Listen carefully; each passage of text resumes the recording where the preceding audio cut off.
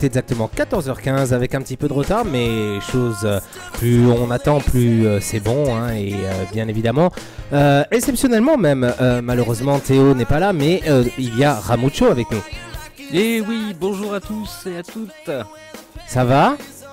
Et ça va Alors, qu'est-ce que tu racontes de beau? Oh, ce que je raconte de beau oh, Pas grand-chose, vu ce qui se passe. Vu ce qui se passe, il s'en passe beaucoup? Et il s'en passe beaucoup, oui. Il s'en passe beaucoup. Ouais, on a encore passé une semaine de fou. Hein. Ouais, on n'a Hein pas arrêté. Eh oui. Allez, vous pouvez nous suivre euh, en direct sur euh, euh, radiocapitole.fr, radiocapitolpaysbasque.com ainsi que radiocapitolbéarn.fr. Et euh, on est en simultané également sur euh, Facebook grâce à notre duplex. Nous avons Ramucho qui est au Pays Basque, hein, toujours. Hein T'as Eh, pas, dé- toujours. t'as pas déménagé? J'ai pas déménagé. Non? Il fait beau? Oui, oui, oui. Il y a le ciel qui devient bleu, euh, un petit peu nuageux, mais Bleu, blanc, ça va. rouge. Bleu, blanc, rouge. Après, après, bon, on n'aura pas les prévisions, euh, on n'aura pas la météo, mais euh, Pourquoi on n'aura pas la météo? mais on aura la, on aura la, la météo sans Théo. Ah voilà, on n'aura pas météo. bon, et, pour- et est-ce que tu peux expliquer pourquoi au moins il est pas là Mais disons qu'il est un petit peu empêché de passer du fait des actions des Gilets jaunes qui sont en cours. Donc, euh, et, et- et- et puis ça bouge apparemment. hein, euh. Et ça bouge, ça bouge. Là, euh, c'est vrai qu'en ce moment, il y a des tensions au cœur de Paris. Il y a le drugstore des Champs-Élysées qui, a priori, est une des cibles. Euh, voilà, il y a pas mal de choses là qui se passent. Et voilà, sur Pau, sur il y a des, euh, des actions aussi qui sont en cours, mais pacifistes. Voilà. Euh, il y a une action, une belle action qui a été faite à l'aéroport de Pau d'ailleurs ce matin euh, pour sensibiliser les, personnes et pour sur par les gilets jaunes donc pour expliquer c'était une action vraiment pacifiste voilà les autres actions le sont également place Clémenceau etc donc euh, voilà la, c'est place c'est Clémenceau, c'est la place des en fontaines, c'est ça C'est là où il y a les grandes fontaines, c'est voilà, ça voilà. Et c'est vrai que sur le Pays Basque, euh, ben, sur l'autoroute, il y a des files de camions. Il faut être patient. Ceux qui êtes sur l'autoroute, euh, tout le long de l'autoroute A64 entre Bayonne et Biriatou, soyez patients, puisque des actions sont en cours au niveau des, des péages. Et voilà, il y a une belle marche euh, ce matin, beau rassemblement à la mairie de Bayonne également à 10h ce matin. Et euh, voilà, ça, ça bouge. Les Gilets jaunes essaient de sensibiliser les gens sur euh, les raisons, en fait, sur les motifs qui- qu'ils évoquent.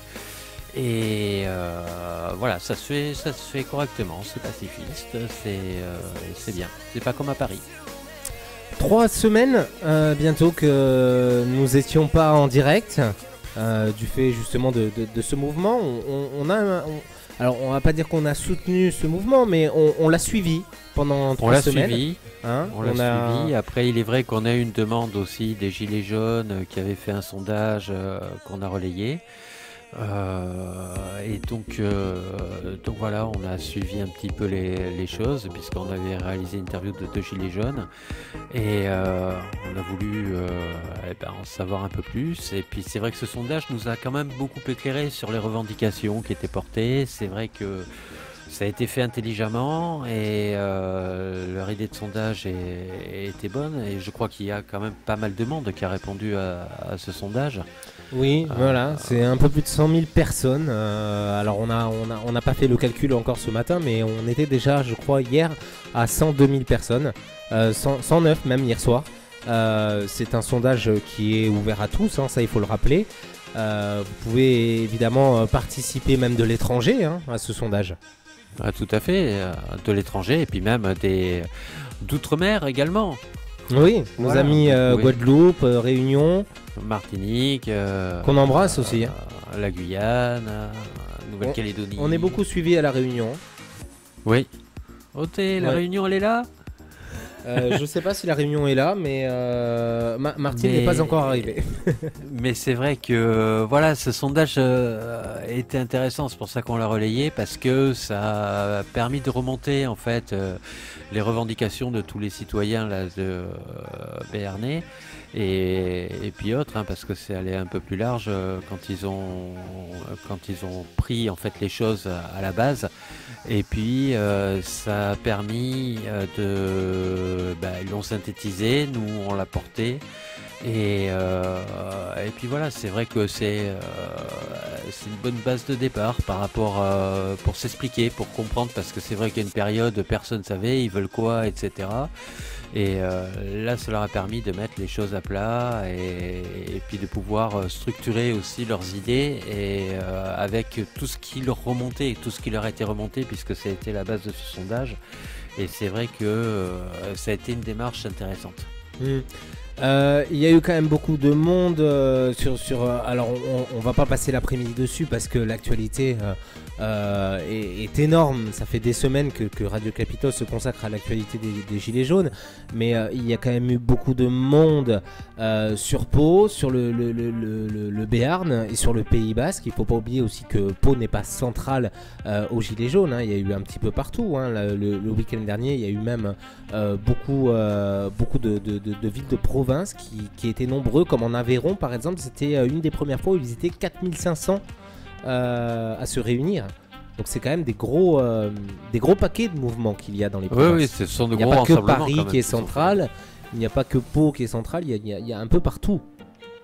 Tout à fait. Non, non, mais il y a par- partout en France. C'est euh, voilà, puisque c'est de toute façon la, la problématique euh, touche tout le monde, tous les Français. Et euh, euh, donc voilà quoi. C'est vrai que euh, c'est les messages deviennent de plus en plus clairs quand même. Mais c'est euh, ça touche tout le monde. Donc des rassemblements euh, partout en province et euh, et voilà, c'était quelque chose d'intéressant, euh, d'intéressant à suivre parce que euh, faut pas croire que les gilets jaunes sont des casseurs, sont voilà euh, loin de là euh, pour la majorité et euh, même s'il y a des éléments euh, voilà qui sont un peu plus dissipés. Mais euh, c'est vrai que nous, en tout cas pour ceux que nous avons rencontrés, euh, voilà, ils ont des choses qui sont, ils se construisent. Ils se construisent. Ouais. Voilà.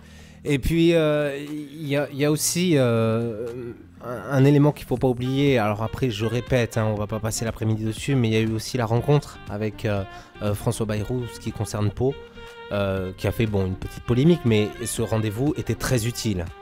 Ben, qui a priori s'est très bien passé d'ailleurs, où les, euh, les gilets jaunes qui ont été reçus ont été très bien reçus. Ils ont pu euh, exposer des choses, euh, qui euh, en l'occurrence le, le- le sondage, les premiers résultats du sondage. Et euh, donc exposer, euh, exposer ces choses-là, ils ont été entendus, ils ont été écoutés. Euh, Monsieur Bayrou donc euh, s'est engagé à relayer euh, les choses en plus haut lieu. Euh, voilà, je ne sais pas si aujourd'hui il y a des retours euh, par rapport à cette euh, à une à la remontée qui, qui a dû être faite ou qui ne va pas tarder peut-être.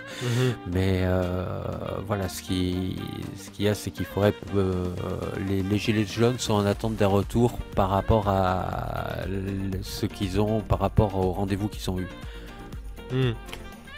Euh, et au Pays Basque, est-ce qu'il y a eu des, des petits retours, des choses comme ça qui se sont faits cette semaine euh, Non, il y a une assemblée qui est prévue pour demain. Ouais. Voilà, et Oui. ensuite, bon. Alors je préviens à tous les auditeurs, Martine est arrivée. Martine est là. Martine est là. Ouais. Bonjour Martine. Il y a Et Eliane bonjour, aussi Martine. qui est de Eliane aussi qui est de Pau qui nous suit euh, régulièrement sur Radio Capitole. Bonjour à vous. Bonjour Martine et Eliane. Euh, Aujourd'hui, voilà, on va la jouer euh, soft, hein, c'est ce qu'on s'était dit. Voilà, on va, on va discuter un petit peu de l'actualité, euh, autre que les, que les, les, les gilets Romeshko. non, Ramucho. Ramucho, pas Romeshko, Romeshko. non, ça c'est ça c'est le deuxième effet météo. Ça. Non mais c'est pas grave. Je, je continue, je continue la liste. C'est Il n'y a euh, pas Théo, mais ce coup-ci, c'est toi qui le remplace. non mais non, c'est Martine qui a dit bonjour, bon, bonjour Julien, Théo et Romeshko. Ah, d'accord. Voilà. Alors, Martine, Théo, euh, comme on disait, euh, n'a pas pu venir. Donc, Théo sera Elle a dit, excuse-moi, excuse-moi. aujourd'hui.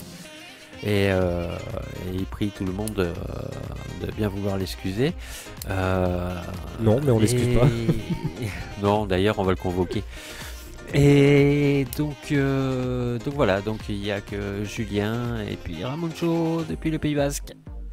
Alors il y a Dylan qui vient d'arriver et qui dit mais pourquoi on n'entend pas Théo? Alors Dylan c'est le frère de, de Théo. Et, et- et du coup ils, ils sont pas ensemble. Retourne-toi. Voilà. re- euh, je sais pas où est-ce qu'il est. Non, je le vois pas. Non, il est pas là. Il est caché en fait. Il est caché. Il avait pas envie de se montrer. Théo, t'es pas non, là. on rappelle voilà que, que, que notre ami Théo n'a pas voulu venir. Euh, hein, il n'a pas souhaité venir. Non, je rigole. Non, il n'a pas pu venir.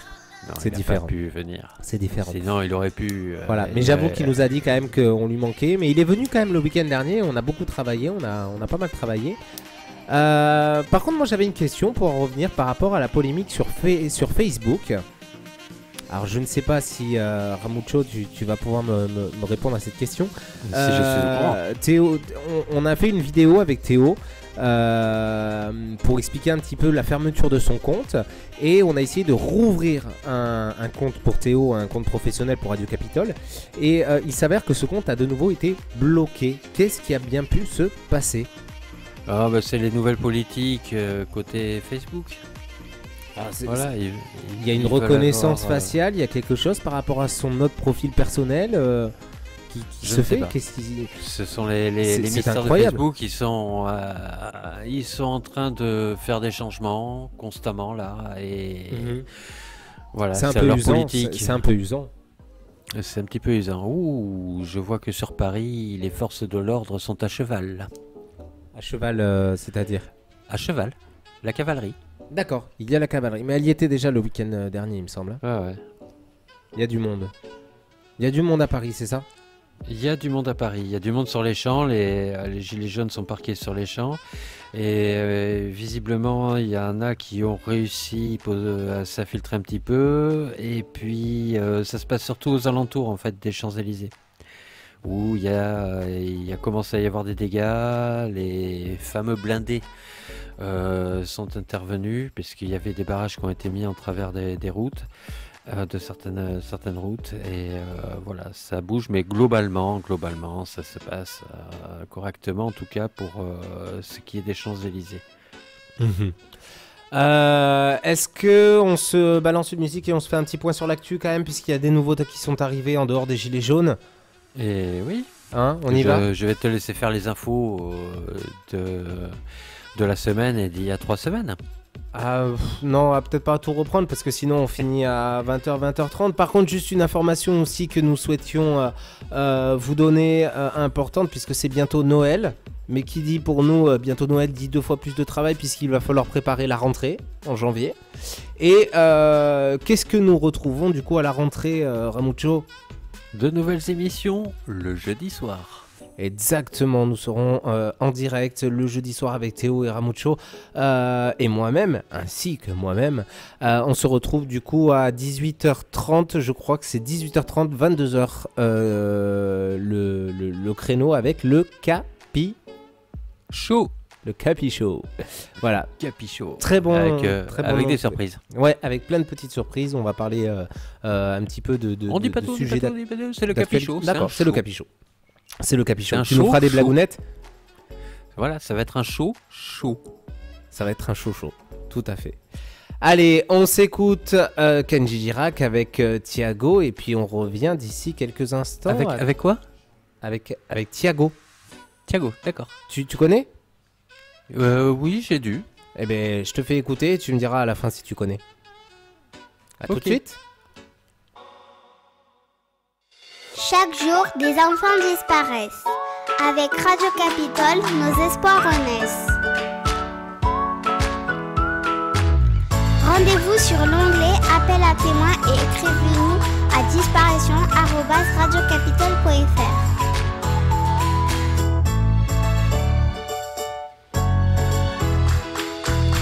Retrouvez les actualités également sur arpd.fr. Allez, vous êtes bien sur Radio Capitole, on est en direct, il est 14h32 et on est en direct sur euh, Facebook euh, Live Direct. Comment ça va euh, Ramucho, il est toujours là? Eh ben, il est toujours là, Ramucho. Oui. Alors, comme on, on- on le rappelle, c'est vrai qu'on a eu beaucoup, beaucoup de travail, donc on n'a pas pu, euh, euh, on n'a pas pu avoir euh, du temps pour vraiment cette année consacrer une journée euh, aux disparitions, euh, à la Journée internationale des droits de l'enfant, mais aussi aux, disparitions. Et comme du coup le rappelait Océane dans le, dans le jingle, voilà, les, les- les disparitions d'enfants sont, sont centralisées avec, avec Radio Capitole et avec l'association ARPD. Et voilà, s'il y a des enfants disparus, voilà, Radio Capitole relaie l'information. Euh, on a eu pas mal de disparitions cette année quand même, hein, pour faire le point un petit peu. Bah, comme tous les ans, hein, puisque c'est à peu près euh, cin- 5000 disparitions par an, je crois. Oui, je crois, ouais. Personnes qui sont pas élucidées, et c'est vrai que. euh, voilà, c'est une autre problématique. Et euh, on a euh, donc Pascal Batani, la présidente de l'association ARPD, qui, qui, collabore avec nous dans, certaines disparitions, y compris pour les majeurs. Mais euh, voilà, nous, enfin, du moins Radio Capitole a décidé de, de- vraiment centrer les disparitions d'enfants, même si les disparitions des, des- des majeurs sont tout aussi importantes, hein, il ne faut pas les oublier. hein. Tout à fait. Tout à fait. Ça touche les familles. Voilà, si vous avez euh, vous un sujet euh, dont vous souhaitez parler sur euh, le live de Radio Capitole, eh bien euh, on est ouvert aujourd'hui. euh, vous pouvez euh, venir avec nous euh, directement sur le hashtag euh, direct live et puis euh, discuter d'un sujet, euh, même un sujet tabou. Il y en a des sujets tabous. Ah, il y a des sujets tabous. Est-ce que toi tu as un sujet tabou euh C'est- c'est la- eh, c'est marrant. C'est exactement la question que j'allais te poser. Non, je- enfin moi j'ai pas spécialement de sujet tabou. Après, euh, Non, mais j'allais te poser si t'étais un sujet tabou. ah moi j'ai- si moi je suis un sujet tabou. Voilà.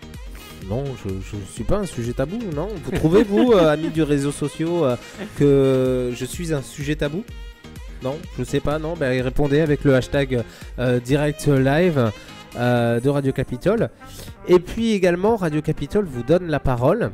Euh, nous recherchons actuellement euh, des témoins pour euh, de nouvelles émissions à partir du mois de janvier.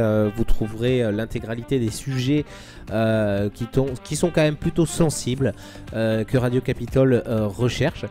Et puis, il faut pas oublier qu'à partir de la rentrée aussi, on recherche des bénévoles. C'est ça, Ramucho Tout à fait. Des bénévoles, que ce soit par rapport pour faire de la rédaction d'articles, que ce soit pour participer à la radio aussi sur certaines rubriques. Euh, voilà, on, on ne mord pas. Et Je ne mords pas. plus, euh, tu ne mords pas non plus. Et euh, voilà, pour rejoindre une équipe sympa. Et puis voilà, c'est c'est vrai que Radio Capitole, c'est une ambiance, c'est c'est une bonne ambiance. Oui, on sait. Voilà, on- mais on travaille. on, on travaille, on travaille. On travaille surtout la nuit. Oui. Parce que la nuit, tous les chats sont gris. Voilà. Euh, et la nuit, Radio Capitole en folie aussi. Qu'est-ce qu'on retrouve de 23h à 6h De la musique 23h à 6h. De la musique. De la Partout, musique, partout, la partout, de la musique, des bonnes musiques en plus. Années, Ah soix- années 70, années 80, d'hier à aujourd'hui en plus. hein. De la Hein musique basque, la musique française, variété internationale, chanson internationale, des tubes du moment, c'est. Voilà. Les tubes de l'instant et du moment. Il était bien, Tubes non? de demain aussi. Tubes de demain. Ouais, on peut avoir aussi des tubes de demain. Oui. Hein Euh, Il y a un chanteur que t'aimes bien Ah. Non? Je sais pas Non? Il y en a un que tu aimes bien? C'était ma question. Oh bah il y en On a beaucoup, parler. mais après c'est des groupes qui sont pas forcément connus euh, ici euh, en nos contrées. Bah toi qui as, qui as un profil avec une, une langue, c'est ça? C'est quoi? Ah, c'est les Rolling Stones remaquillés. Et tu aimes bien? Ah, c'est sympa. J'ai assisté, euh, quand ils sont passés en France, euh, j'ai assisté à leur concert à la You Arena. C'était vraiment un grand moment. Mhm, mhm. Moi, il y en a un que j'aime bien euh, actuellement en ce moment, et d'ailleurs, on, on le passe aussi sur Radio Capitole, c'est Thomas. Je sais pas si tu connais. Thomas, ça me dit quelque chose. Ouais. Ça, ça, ça- T'en as déjà entendu parler de. Eh bien, euh, il a vécu la, la- la- la même histoire que moi, en fait, ce, ce type. C'est-à-dire Euh, il a vécu l'adoption. Ouais. Il a vécu euh, le- le- la, la- la- la pauvreté. Euh, il vient d'un pays où, euh, on va dire qu'on n'est pas, voilà, hein, il y, a eu beaucoup de beaucoup de, massacres dans son dans son pays et puis il est, ouais, il était, il a, il a été dans la pauvreté, il a connu la pauvreté. Voilà, donc, euh, et, euh, et, ces chansons, en fait, euh, bah, m'ont énormément touché parce qu'en fait, j'ai l'impression de revoir mon histoire, en fait. Donc, c'est assez, c'est assez émouvant. Et puis, puis j'aime bien ce gars. Et puis, en plus, il est aussi beau que moi. Ça va les chevilles? Non, mais j'hallucine. Voilà, on a Will qui nous rejoint. On a Martine toujours qui est en ligne. On a Plume Ploumel qui est en ligne sur Radio Capitole euh, euh, Facebook. Euh, Plume Ploumel qui est l'ami de. On, va un peu, on va un peu ressortir l'historique de, ce qu'on a diffusé comme information, qui est, qui est l'ami de Mathieu Martin. Est-ce que tu t'en rappelles de Mathieu Martin, Ramucho Oui. Ouais, D'ailleurs, on n'a pas de nouvelles.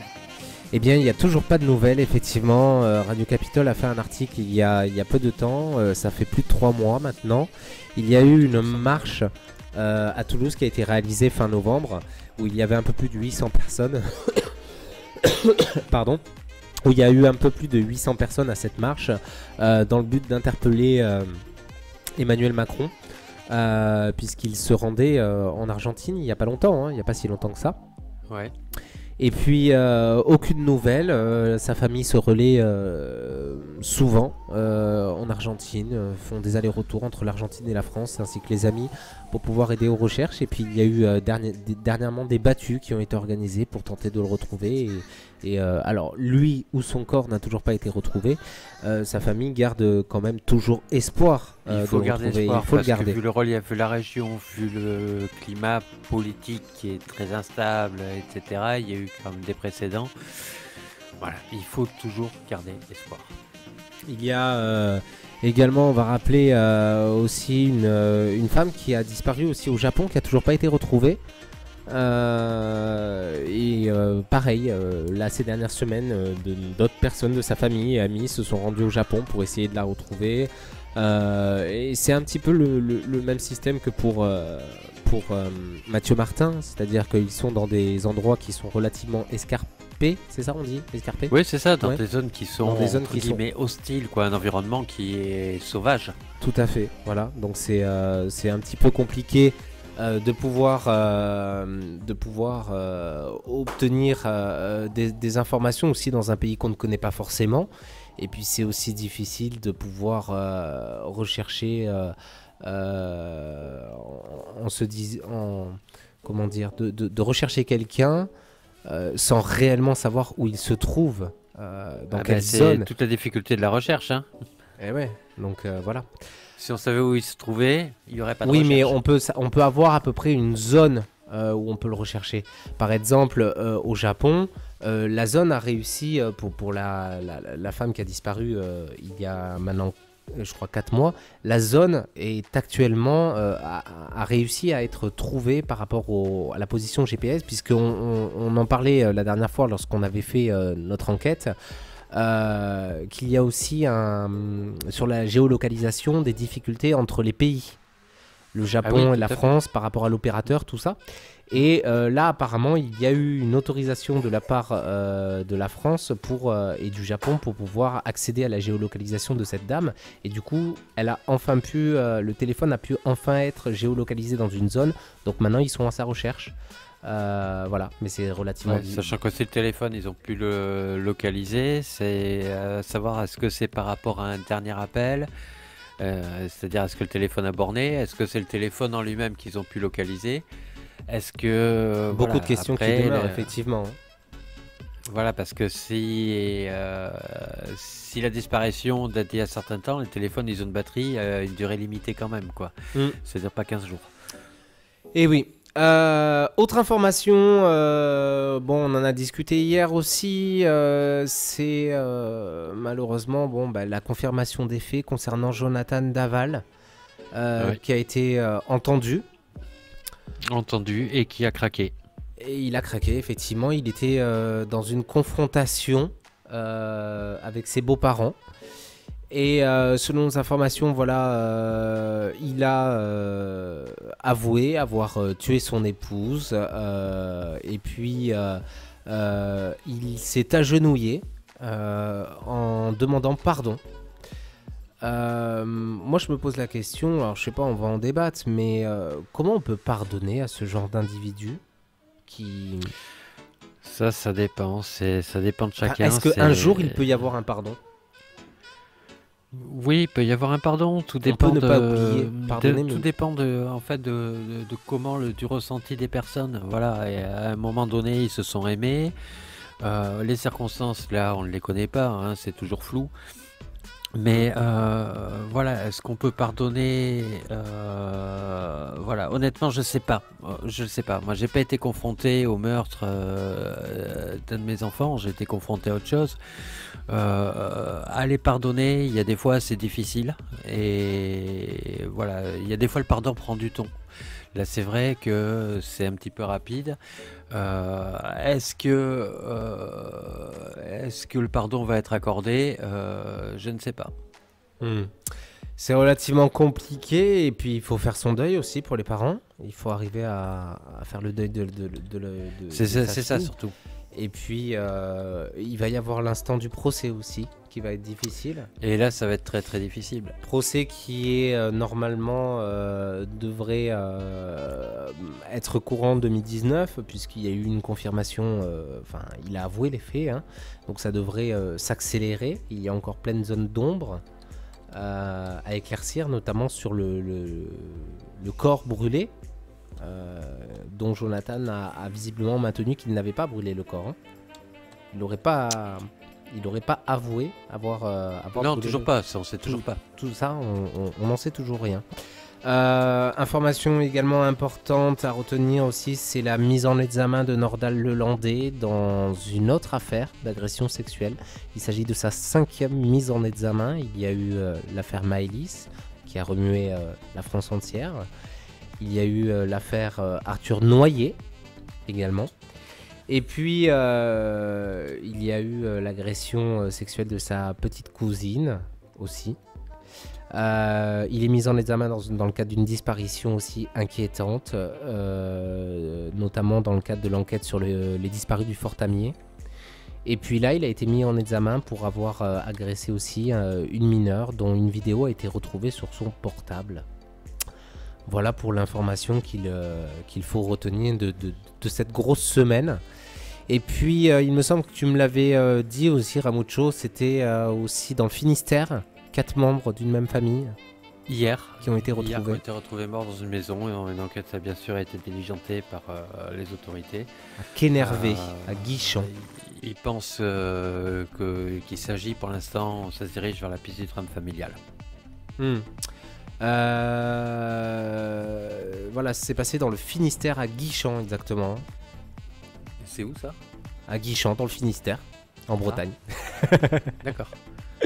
Voilà, et également euh, une autre affaire. Alors, c'est vrai que c'est pas des infos qui sont euh, très joyeuses, mais bon, il faut quand même en parler puisque c'est des choses que euh, Radio Capitole a l'habitude de mettre devant. C'est l'affaire du bébé décédé. Je ne sais pas si tu es au courant, Ramucho.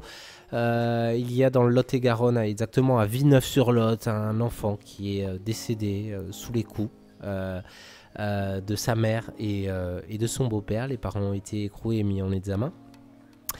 Et euh, selon l'enquête, ce matin, nous apprendrons que ce petit bébé âgé de 13 mois, qui était inanimé, hein, c'est une petite fille qui est décédée hein, le soir même où elle a été retrouvée. Cette petite fille aurait été violée par le beau-père, dont la mère était évidemment complice. Difficile d'entendre des choses comme ça.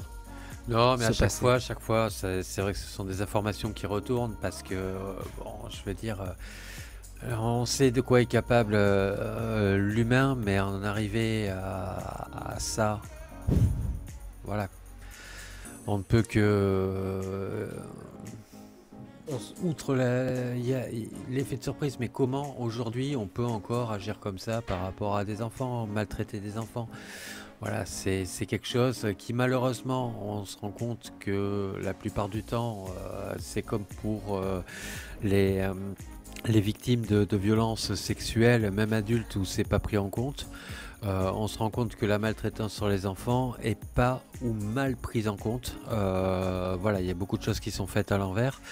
Euh, voilà quoi, c'est inadmissible. C'est inadmissible. C'est voilà, là c'est un des cas de figure où qui serait, qui pourrait être pour le, commun des mortels. Euh, enfin, je veux dire quelque chose, c'est quelque chose d'impardonnable. C'est comme euh, une, actu qui a été publiée il y a, il y a quelques heures, un bébé qui faisait pipi dans sa couche et l'infirmière qui l'a frappé alors qu'il était handicapé.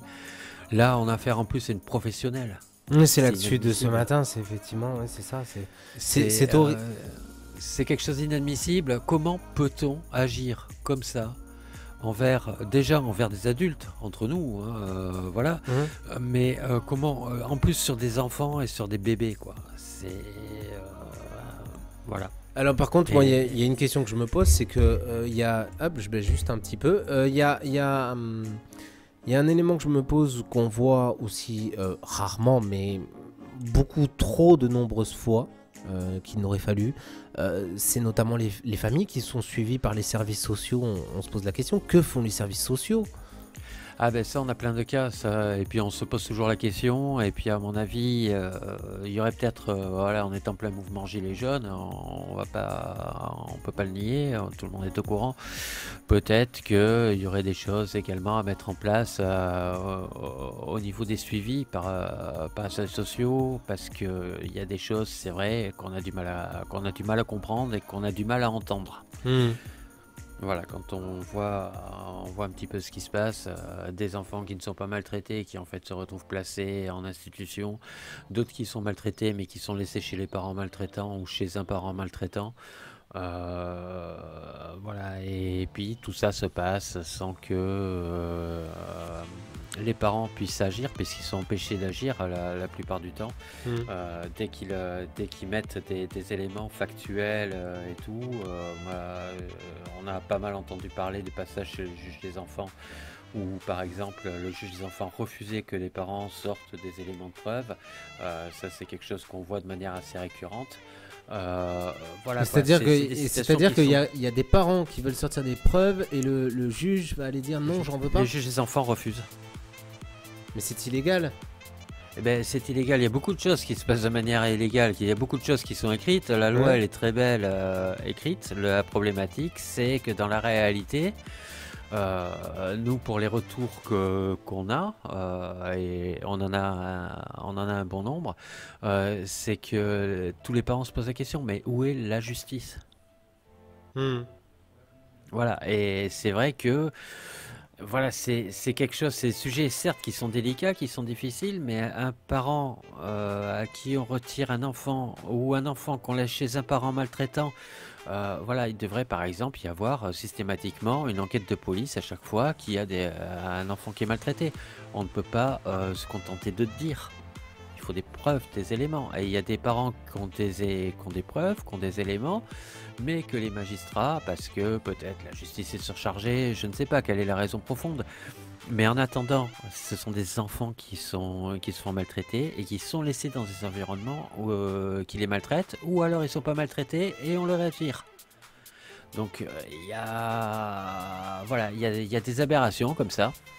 Et mm. euh, voilà, après on peut pas revenir sur les décisions de justice. Hein. Il y a des procédures, il y a un système qui est, qui est instauré, fort heureusement, permet de cadrer. Mais si déjà, en premier lieu, il y avait par exemple, euh, on a des soupçons de maltraitance, et eh ben normalement, si c'est du domaine du crime, ce sont, sont des mineurs.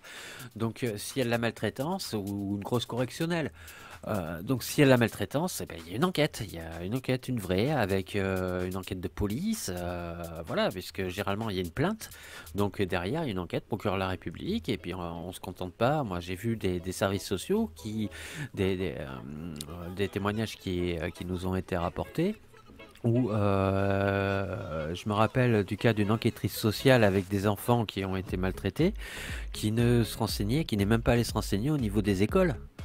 Et euh, donc voilà, et qui a fait juste un truc, a essayé d'appeler les écoles, et puis euh, pas eu de réponse, euh, et puis voilà, et puis dossier classé sans suite.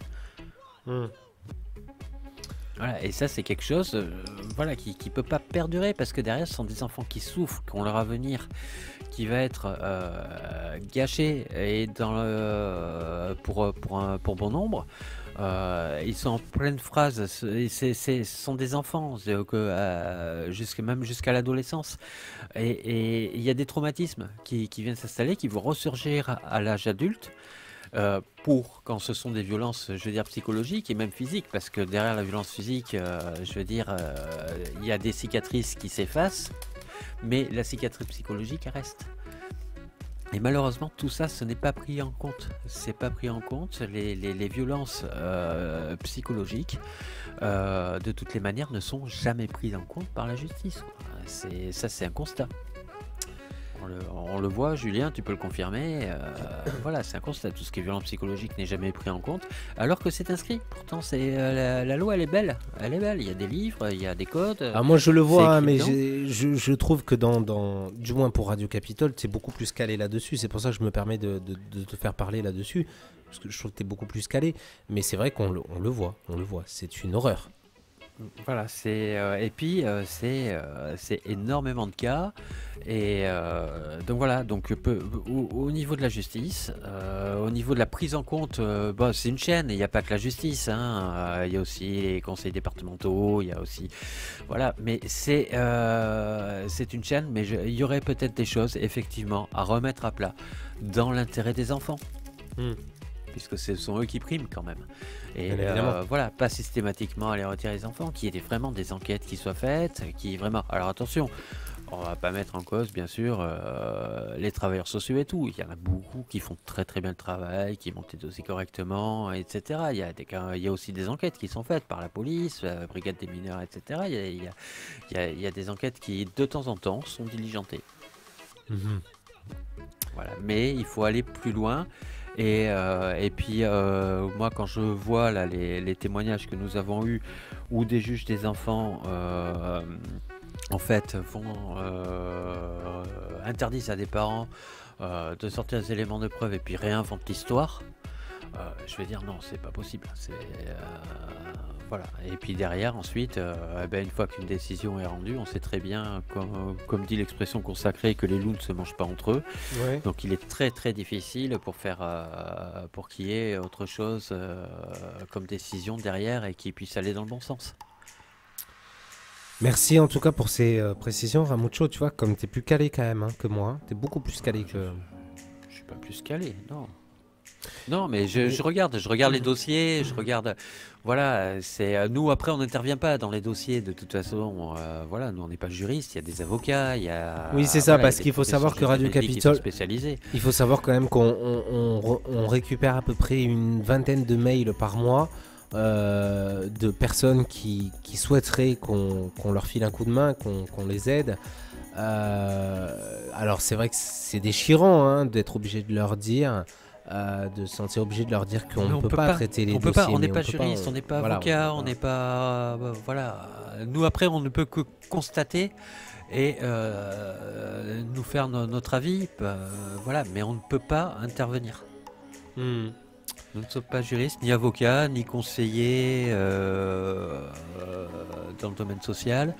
Donc euh, voilà, on ne peut vraiment pas intervenir, c'est pas notre rôle. Nous, euh, voilà, nous sommes rédacteurs, nous sommes, euh, voilà, on est là pour porter, pour porter les choses et on vérifie nos informations. Donc par le fait du fait qu'on vérifie aussi les informations, forcément, on plonge un petit peu dans des dossiers parce qu'on essaie de comprendre comment les choses se sont passées et tout.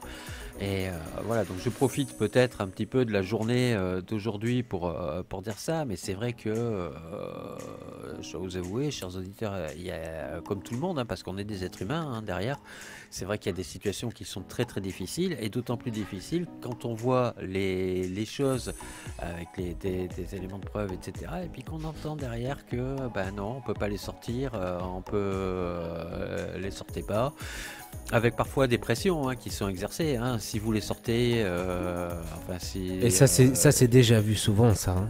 Et ça se voit souvent, ça se voit souvent. Et, voilà, et je, je comprends pas qu'on puisse.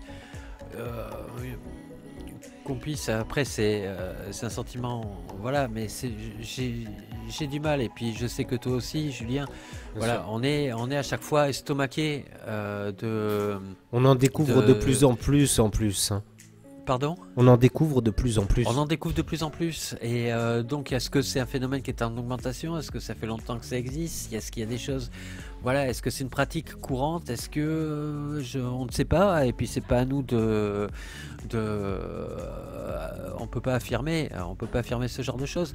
Mais on voit effectivement qu'on en constate de plus en plus et qu'il y a des fois, on se demande. euh, on pourrait comprendre euh, la position de certains parents et de certaines familles?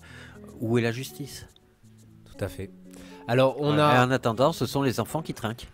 Exactement et on a Rosa d'ailleurs qui, qui a voulu euh, interagir sur, sur Facebook en nous disant la loi anti-fessée. Ah oui, c'est vrai que cette loi est passée euh, cette semaine ou la semaine dernière, je crois. Euh, ben ouais, juste. euh, Hein ouais, elle est ça, passée, ouais, voilà. semaine. Alors elle nous dit la loi anti-fessée est rentrée dans le code civil de l'autorité parentale. Ouais, bon, c'est Mais ce serait une loi qui ne exactement sera pas appliquée comme mais, mais non pas dans la loi pénale. Euh, donc elle indique, c'est sa position, hein, après on peut interagir avec, hein. Euh, on verra des personnes se faire retirer l'autorité parentale, donc sans plainte, donc aucune façon de se défendre. Qu'est-ce qu'on Euh, pourrait lui répondre par exemple à, à, à Rosa Alors déjà moi je trouve que l'expression le code civil euh, de l'autorité parentale n'existe pas, ça n'existe pas ça, le ça code civil de l'autorité parentale, c'est le code civil ou le code pénal, ou les Voilà. autres codes. hein. L'autorité parentale, c'est un ensemble de droits et de devoirs qui sont dévolus aux parents. euh, Ayant voilà, pour finalité l'intérêt de l'enfant, Oh, mais tu, vous êtes calé. euh, bien sûr. Et, 375. euh, donc voilà, mais c'est ça, c'est ça qu'il faut 375, prendre en compte, c'est l'intérêt de l'enfant. Après le fait qu'il est inscrit, euh, alors j'ai pas vérifié l'information, c'est vrai qu'on n'a pas eu le temps, mais euh, pour lire le texte justement. Après, si, elle a été euh, inscrite dans le code civil. hein. Voilà, si c'est inscrit effectivement comme le code civil, effectivement, il risque que ce soit pris euh, dans certains cas euh, par certaines personnes en charge de certaines mesures euh, pour euh, appliquer. euh, T'as t'as vu, j'essaie de rester générique. hein, pour, pour appliquer en fait certaines décisions et que ça serve de motif à ces décisions-là, qui effectivement ne seront pas forcément bien bien fondées. Je ne sais pas. On ne sait Mais- pas. Il faudra attendre la mise en œuvre la mise en application de, de cette loi, le décret d'application, puisque là la loi a été votée, mais il faut que ça paraisse au journal officiel. hein. Et il faudra voir le champ d'application. Mhm. Après, si une fessée c'est considéré comme le euh, voilà la jurisprudence pourra intervenir et puis il faudra voir comment euh, les choses sont, sont faites. Mais c'est vrai qu'une fessée, si c'est en fait si c'est au niveau du code civil, on dit il faut pas.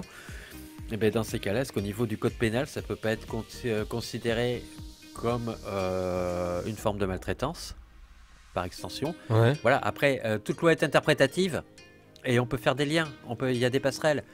Euh, ma- maintenant, s'il y a maltraitance, logiquement, doit y avoir enquête et enquête de police. Et à partir de ce moment-là, il y aurait des éléments factuels. Il y a fessé, il n'y a pas fessé, etc. Oui, mais là, à partir du moment où on a inséré la fessée- plus important. À partir du moment où on a inséré la fessée dans le, le, le- le- le code civil, euh, est-ce que elle, peut, elle, est, elle est déliée du fait de la maltraitance ou pas du coup? Mais non, parce que si c'est inséré dans le code civil, si on dit c'est pas bien, logiquement derrière ça peut être. euh, Après, c'est le travail des avocats, hein, les sont des spécialistes. Euh, mais euh, ce que je veux dire, c'est après ça peut être considéré comme étant une forme de maltraitance. Si dans le code civil les mix étaient interdits, ça peut être considéré ensuite derrière comme une forme de maltraitance. Après, ça va être. Après, c'est le travail des avocats. Voilà. Et, euh, donc, euh, donc voilà, après, un procureur de la République, euh, peut-être qu'ensuite, il faut attendre le décret d'application déjà. Et puis ensuite, et ensuite voir comment ça va être mis en œuvre. Parce qu'au début, c'est sûr que ça va pas tatouiller. Euh, et puis ensuite, au fur et à mesure, ensuite, rappelant que dans le schéma, c'est on a des, euh, il y, a, une première instance quand, les choses passent en justice. Ensuite, il y a une cour d'appel si on n'est pas content de, la décision rendue.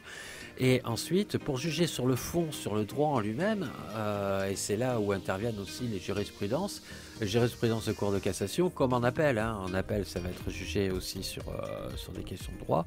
Mais c'est vrai que la cour de cassation, a grande instance pour pouvoir ensuite ben, peut-être que la Cour de, de cassation, par des, au travers de jeux de jurisprudence, va établir le lien, un lien naturel avec le code pénal et euh, pour considérer comme quoi effectivement c'est la maltraitance et que ça doit être réprimé, sachant qu'un juge civil peut très bien renvoyer aussi l'affaire en pénal. Oui, exactement. Euh, notamment un juge des enfants qui, qui, a deux casquettes, hein. c'est ça que tu disais la dernière fois. il a deux casquettes, il a une casquette pénale et civile. Euh, voilà, tout à fait. Donc c'est, euh, ça peut très bien être envoyé, être envoyé devant une instance pénale parce que ben voilà, l'effet c'est répétition. Maintenant, est-ce qu'il n'y avait pas autre chose à faire avant hmm. que ceci? Puisque quand on voit certains, certains, des choses qui pourraient être perçues comme des dysfonctionnements, voilà, est-ce qu'il n'y avait pas d'urgent, plus, est-ce qu'il n'était pas plus urgent de traiter autre chose, peut-être de remettre des choses à plat, plutôt que de voter euh, une loi sur la fessée? Ouais, c'est ça aussi. C'est un peu une, complexi une complexivité, non? Il complexifie. ouais, voilà, c'est complexifié. Non, mais c'est noté. Complexivité. c'est hyper euh, complexe quand même de déterminer. C'est une matière complexe, c'est pour ça qu'il y a des professionnels, il y a des avocats, il y a, il y a des choses, il y a voilà. Mais à condition que les choses soient faites euh, dans le bon ordre. Ouais. Voilà, et avec réellement une volonté d'agir dans l'intérêt de l'enfant et que ce ne soit pas juste euh, des mots couchés sur le papier qui servent de motivation à des décisions euh, parce qu'il y a des fois on, en vient à se poser effectivement la question. On a l'impression que c'est un grand chapeau bien vide l'intérêt de l'enfant. Et euh, il y a Cédric qui euh, nous rejoint. Cédric qu'on a déjà eu sur, euh, sur Radio Capitole, qui est intervenu sur, sur, le chat. alors lui, il a, il a une situation qui est un petit peu rejoint l'histoire de la fessée. C'est qu'il a décelé des faits de maltraitance sur son enfant. il est séparé, et euh, lui a manifesté auprès des, services sociaux et des services de police les, faits de maltraitance qui visiblement auraient été confirmés. Alors je ne sais pas, il va nous le dire. On, va rentrer euh, d'ici quelques instants en contact avec lui, euh, le temps que on, fasse une petite pause. Et on revient à ce que tu disais, Ramucho, où l'enfant a été écarté rapidement.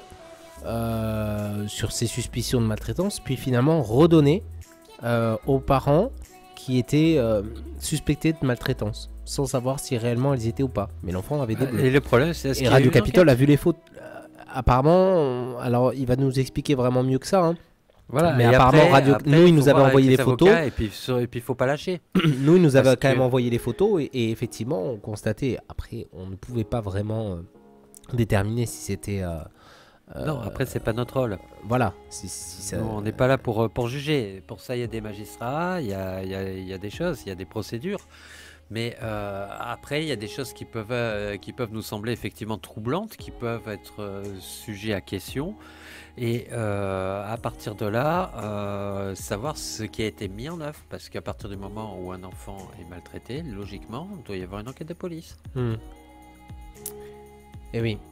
On fait une petite euh, pause et puis on va euh, effectuer les, réglages pour rentrer en communication avec Cédric qui accepte. qui va nous raconter son histoire. Voilà, qui, va, qui accepte de, nous raconter son histoire. ça fait, voilà, ça fait des semaines que, euh, faute de temps, voilà, on ne pouvait pas lui consacrer un petit moment. Et puis là, comme on a, on a un petit peu plus de temps, on, si tu acceptes, bien évidemment, euh, qu'on lui consacre un petit peu de temps pour qu'il nous. on va consacrer un petit peu de temps. Allez-y, contactez, contactez-nous. Et puis, si vous avez des choses à dire pour vous exprimer, n'hésitez pas.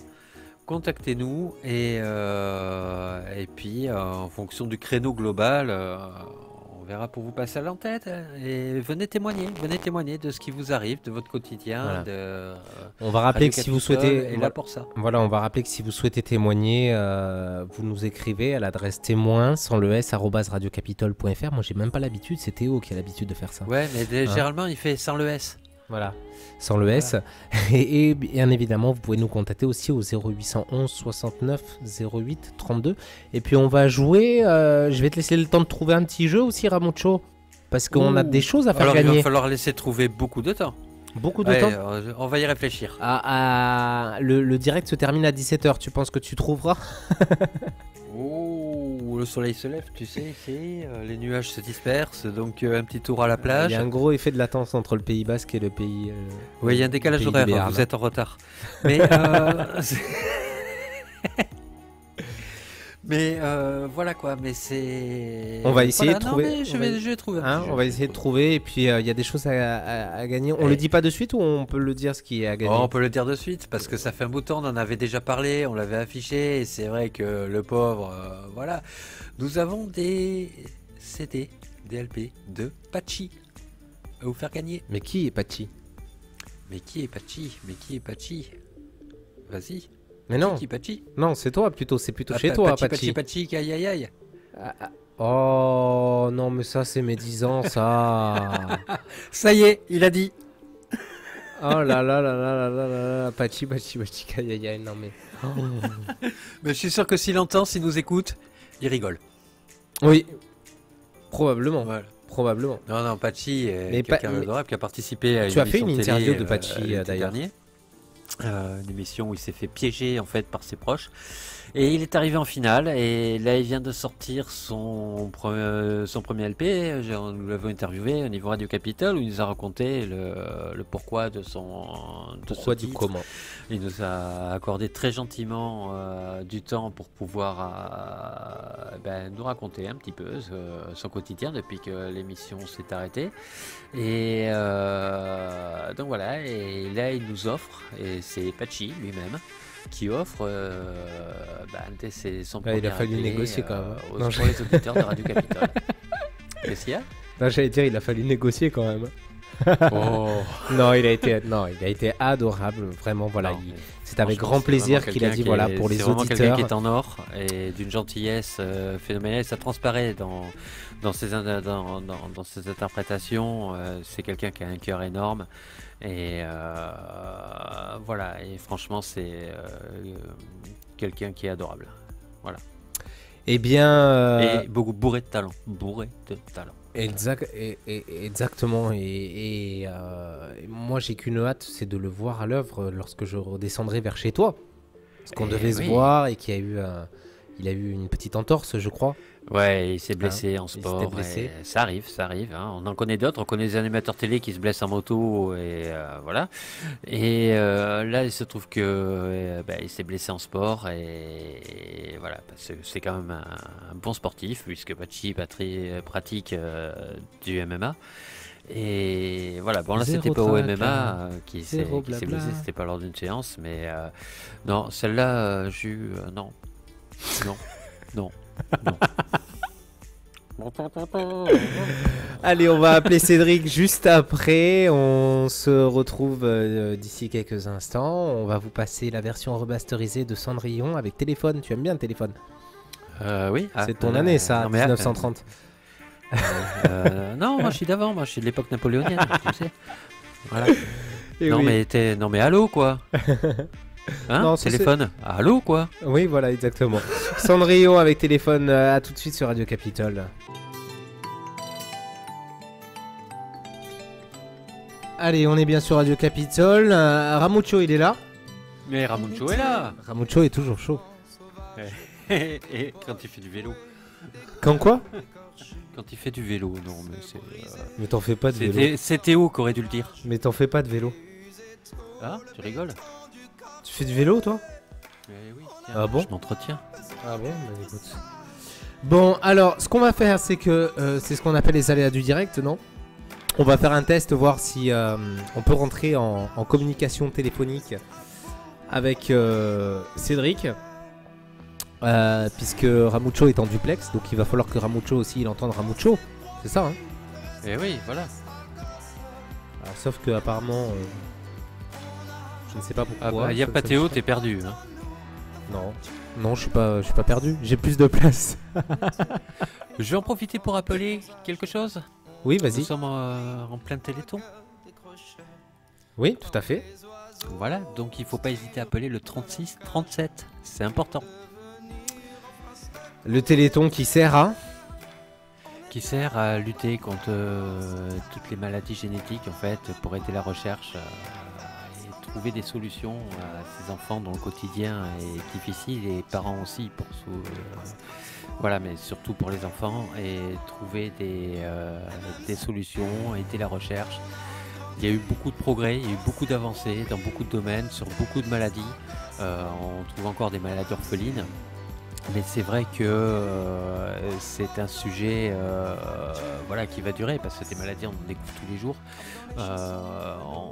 Et donc euh, c'est important, c'est important de faire, euh, de faire ces dons pour la recherche. Et puis il n'y a pas de petits dons, hein, même si c'est 1 euro ou 50 centimes.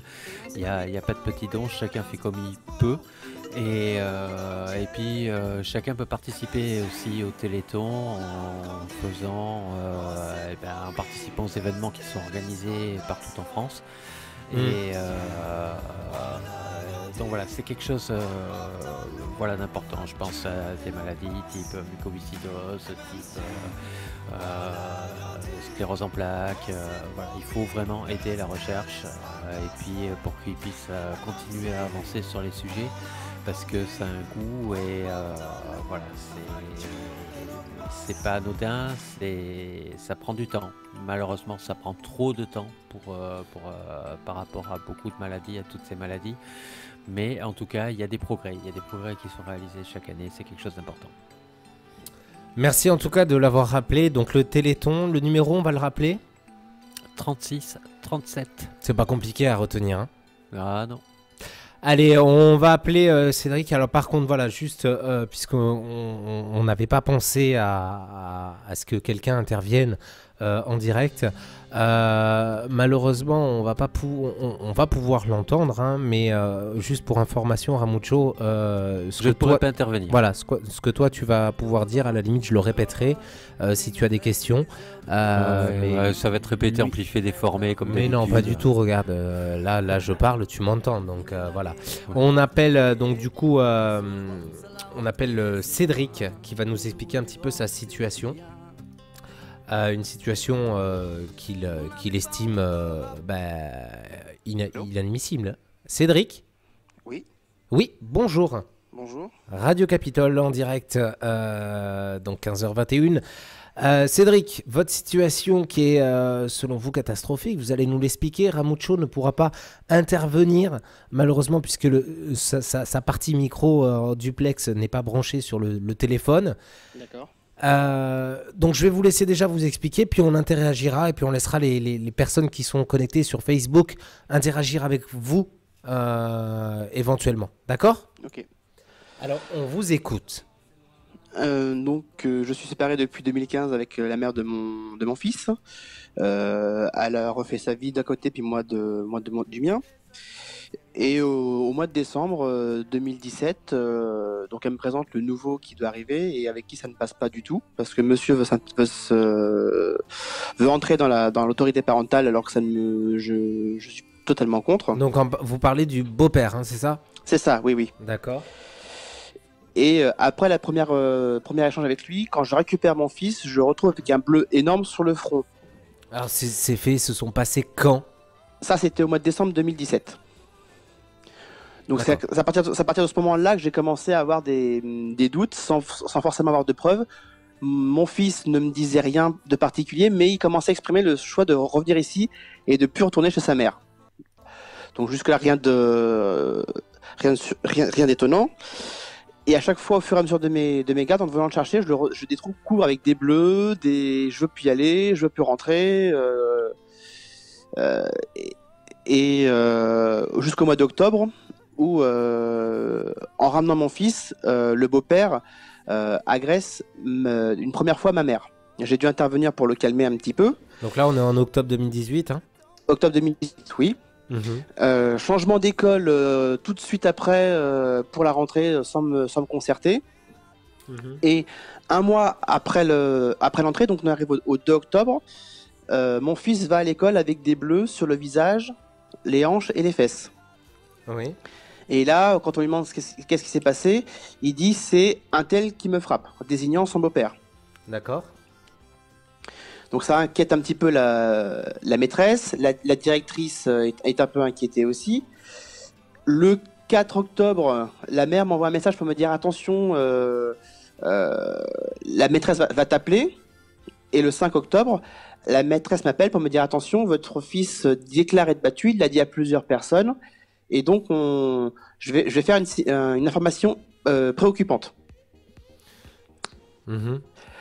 Euh, donc là, j'étais un peu dans, tous les- dans tous mes états parce que je j'étais un, un peu inquiet de la situation. J'ai pas eu de photo de, des bleus. Mais ça n'a fait que confirmer vos doutes depuis quelques années. Oui, c'est ça. Oui, depuis un an, oui, ça a fait que confirmer mon, mon doute. Et, euh, et donc moi, du coup, du coup, en parallèle, je fais un signalement au 119. Et euh, quand je viens récupérer mon fils, donc le 19 octobre au soir, euh, au moment de le récupérer, je le retrouve avec un gros bleu encore sur la joue. Euh, donc là, je le prends et je l'amène à l'hôpital tout de suite pour faire un, une attestation médicale. Et en le déshabillant, on découvre pas moins de 5, 5 à 6 zones de bleu euh, différents. C'est le service médical hein, qui, qui va trouver ça, c'est ça? Ouais, c'est ça, oui, oui. En, les habillant, oui, on trouve 5, zones de bleu dans le dos, les hanches, euh, le tibia euh, farci de bleu, euh, mais c'est pas des pas des petits bleus, c'est des bleus qui font 2 3 cm, parfois plus euh, sur le corps. Ouais. Euh, euh, donc la dépôt de plainte immédiat et quand quand lui il a été tout de suite pris par la police et quand la policière lui demande qui a fait ça, euh, et ben il dit bah il y a euh, il y a un tel qui me qui me tape, maman et ma grand-mère qui me donnent des fessées. Mhm. Voilà, la, bom- la bombe est posée. Alors quel âge a votre... euh, on a un auditeur qui nous demande, d'ailleurs auditeur qui, dit- qui dit Théo, demande quel âge a votre fils? Et il a eu 5 ans le jour où on a été à la police le, le 20 octobre. D'accord. Sympa le cadeau. Euh, Donc à partir de ce moment-là, je décide de pas ramener mon fils euh, chez sa mère à la fin de, de mon droit de visite et d'hébergement. Donc vous décidez de, le- de, de protéger, De le garder, de, le protéger, de le garder pour le protéger, ouais. Je change d'avocate parce que la première ne voulait pas aller euh, au, au- ne voulait pas aller au, au clash avec le- le- avec un avocat, disant qu'il n'y avait pas assez de preuves. Même si même s'il y avait des bleus, des photos, des, poli- des photos judiciaires et déclarations de l'enfant, ça ne suffisait pas pour l'avocate. Mhm. J'en trouve une deuxième qui, elle, va au référé. Et on va au référé le 12 novembre et j'ai reçu la réponse euh, pas plus tard que lundi pour me dire que euh, n'y avait pas suffisamment de preuves euh, pour euh, pour dire que je on peut désigner enfin faire résider l'enfant chez moi. Ce petit problème, c'est que la- l'avocate a s'est trompée en fait dans la procédure. Elle a fait une référé au lieu de faire une saisine sous forme de référé. Dans le premier cas, on juge le fond et il faut des preuves indiscutables, ce qu'on n'avait pas. Mhm. Et dans le deuxième, on juge, euh, on juge sur une situation d'urgence. Et là, effectivement, il y avait de quoi euh, poser, le poser le doute sur le sur l'urgence. Et donc, du coup, euh, d'après le référé, je devrais ramener mon fils chez ma chez mon ex-compagne, chez sa mère. Et j'ai toujours décidé que non, je ne ramènerai pas mon fils euh, chez euh, chez sa mère. Je vais reprendre une, une autre avocate qui, parce que la, la deuxième m'a euh, abandonné après le, le référé. Donc celui du mois de novembre, en fait, votre avocate vous a plaqué, quoi. Enfin, a, a dit non oui, c'est à, ça. à Oui, la suite de la ça. oui, procédure. euh, Et vous, vous avez gardé le- votre enfant. Et donc j'ai gardé mon enfant, oui, oui. Et ce qu'il faut dire aussi, c'est que depuis que je l'ai récupéré, après, la- après les vacances scolaires, j'ai réussi à le faire scolariser. Il est accueilli dans une école sans, sans y être inscrit. Ouais. Et j'ai voulu aller, lui- aller lui faire voir des, des psychologues, mais tous les psychologues que je vois me disent tous la même chose. On veut bien le prendre, mais il faut l'autorisation de la mère. Et quand je lui demande, elle ne veut pas que euh, l'enfant euh, puisse voir un, un psychologue euh, ici. D'accord. Ok. Il est où là actuellement, votre votre enfant? Il est chez moi là. D'accord. Donc vous ne l'avez toujours pas ramené. Vous avez toujours pas été inquiété par les forces de l'ordre? Euh, non, non, toujours pas, non. Ils sont au courant de la situation. J'ai envoyé aussi des courriers au procureur du département de résidence de mon fils, en espérant qu'il qu'il puisse euh, agir euh, pour faire quelque chose. Et euh, les dernières nouvelles que j'avais, c'est que eux avaient du coup de- demandé à me faire réécouter. Euh, depuis le 2 novembre et depuis le 2 novembre j'attends euh, ils attendent le, le retour de, de la police et de quand j'ai appelé la police de mon département euh, eux ne sont pas encore au courant du retour de, du dossier. D'accord. Euh, Ramucho? Ramucho est plus là? Si, Ramucho est là. Ah, Ramucho est là. Euh, Cédric, est-ce que vous entendez Ramucho? Oui. Ok. Oui. Donc Ramucho, des questions? Euh, des questions Oui, est-ce qu'il y a eu un passage devant le juge des enfants? Non, pas encore. D'accord. Ça va être fait, en- c'est, ça va être fait dès lundi. Je, je vois une nouvelle avocate et puis ça va être fait dès lundi. Et le, et, et le juge aux affaires familiales qui a jugé votre affaire en novembre, il aurait pas pu demander la saisine au juge des enfants? Ça se fait pas comme ça Je, je sais pas. Bah, si, dans le, il dit bien dans le, dans le retour du, du référé qu'il, euh, qu'il faut envoyer ça directement, euh, juger, juger le fond euh, au pénal. D'accord, donc euh, juger le faux au pénal, euh, ça peut être, ça passe euh, par le procureur de la République. Oui, c'est ça, oui. Voilà, donc euh, peut-être que, je ne sais pas, je connais pas les procédures là-dessus, mais peut-être qu'il aurait pu renvoyer euh, lui-même auprès du procureur de la République si effectivement il y avait soupçon de maltraitance. Maintenant, d'après ce que je comprends, c'est que euh, pour lui, il n'y avait pas assez de preuves, donc pas de maltraitance. Il n'y avait pas de preuve indiscutable, oui, effectivement, oui. Euh, il n'y avait pas de vidéo le montrant en train de le frapper ou, quoi. Pour lui, les bleus euh, peuvent être faits par n'importe qui, par n'importe et n'importe quand, ce qui quelque part est vrai. Mais c'est surtout la grosseur et la- le nombre de bleus qui me qui m'in- qui m'interpellent. euh, parce que quand j'entends dire que mon fils est maladroit, qu'il tombe, ou bien qu'il fait qu'il est euh, qu'il est hémophile, j'ai fait les tests justement euh, par une prise de sang. Un, il n'est pas hémophile. Et deux, j'ai été poussé de vis à lui faire faire du football américain, du rugby, parce que c'est ce que j'aime bien faire aussi, du judo. Et euh, après les séances de, après plusieurs séances de sport, il n'y a absolument aucun bleu. Mhm. D'accord. Non, après, ben, faut, faut effectivement euh, faire à suivre avec euh, votre nouveau conseil et euh, qui, euh, je pense, fera le nécessaire compte tenu de tout ce que vous nous dites. Euh, voilà, va falloir remonter le dossier et puis euh, voilà, il n'y a qu'un avocat effectivement pour pouvoir faire ça. Et, Et- votre- peut-être pour cette composante pénale, peut-être mettre en route quelque chose à ce niveau-là, effectivement, et qui va diligenter ensuite des enquêtes. Euh, voilà, parce que même s'il n'y a pas d'épreuve flagrante en, en, première instance, est-ce que le pénal va pas pouvoir aller plus loin euh, Et puis, euh, dans la recherche des preuves, peut-être travailler sur des clichés, travailler sur des choses. Maintenant, la maman de votre fils, elle a contact avec lui? Oui, oui, oui, oui, au moins, au moins une fois par semaine, oui. D'accord, ouais, c'est bien parce qu'il faut pas rendre, faut jamais rompre euh, le contact, c'est jamais bon, faut penser à l'enfant. il a oui, quand oui, c'est sûr. Non, non, je pense à l'enfant, même si c'est dur pour lui, euh, il, il- il lui parle quand même. Euh, Ouais, c'est important.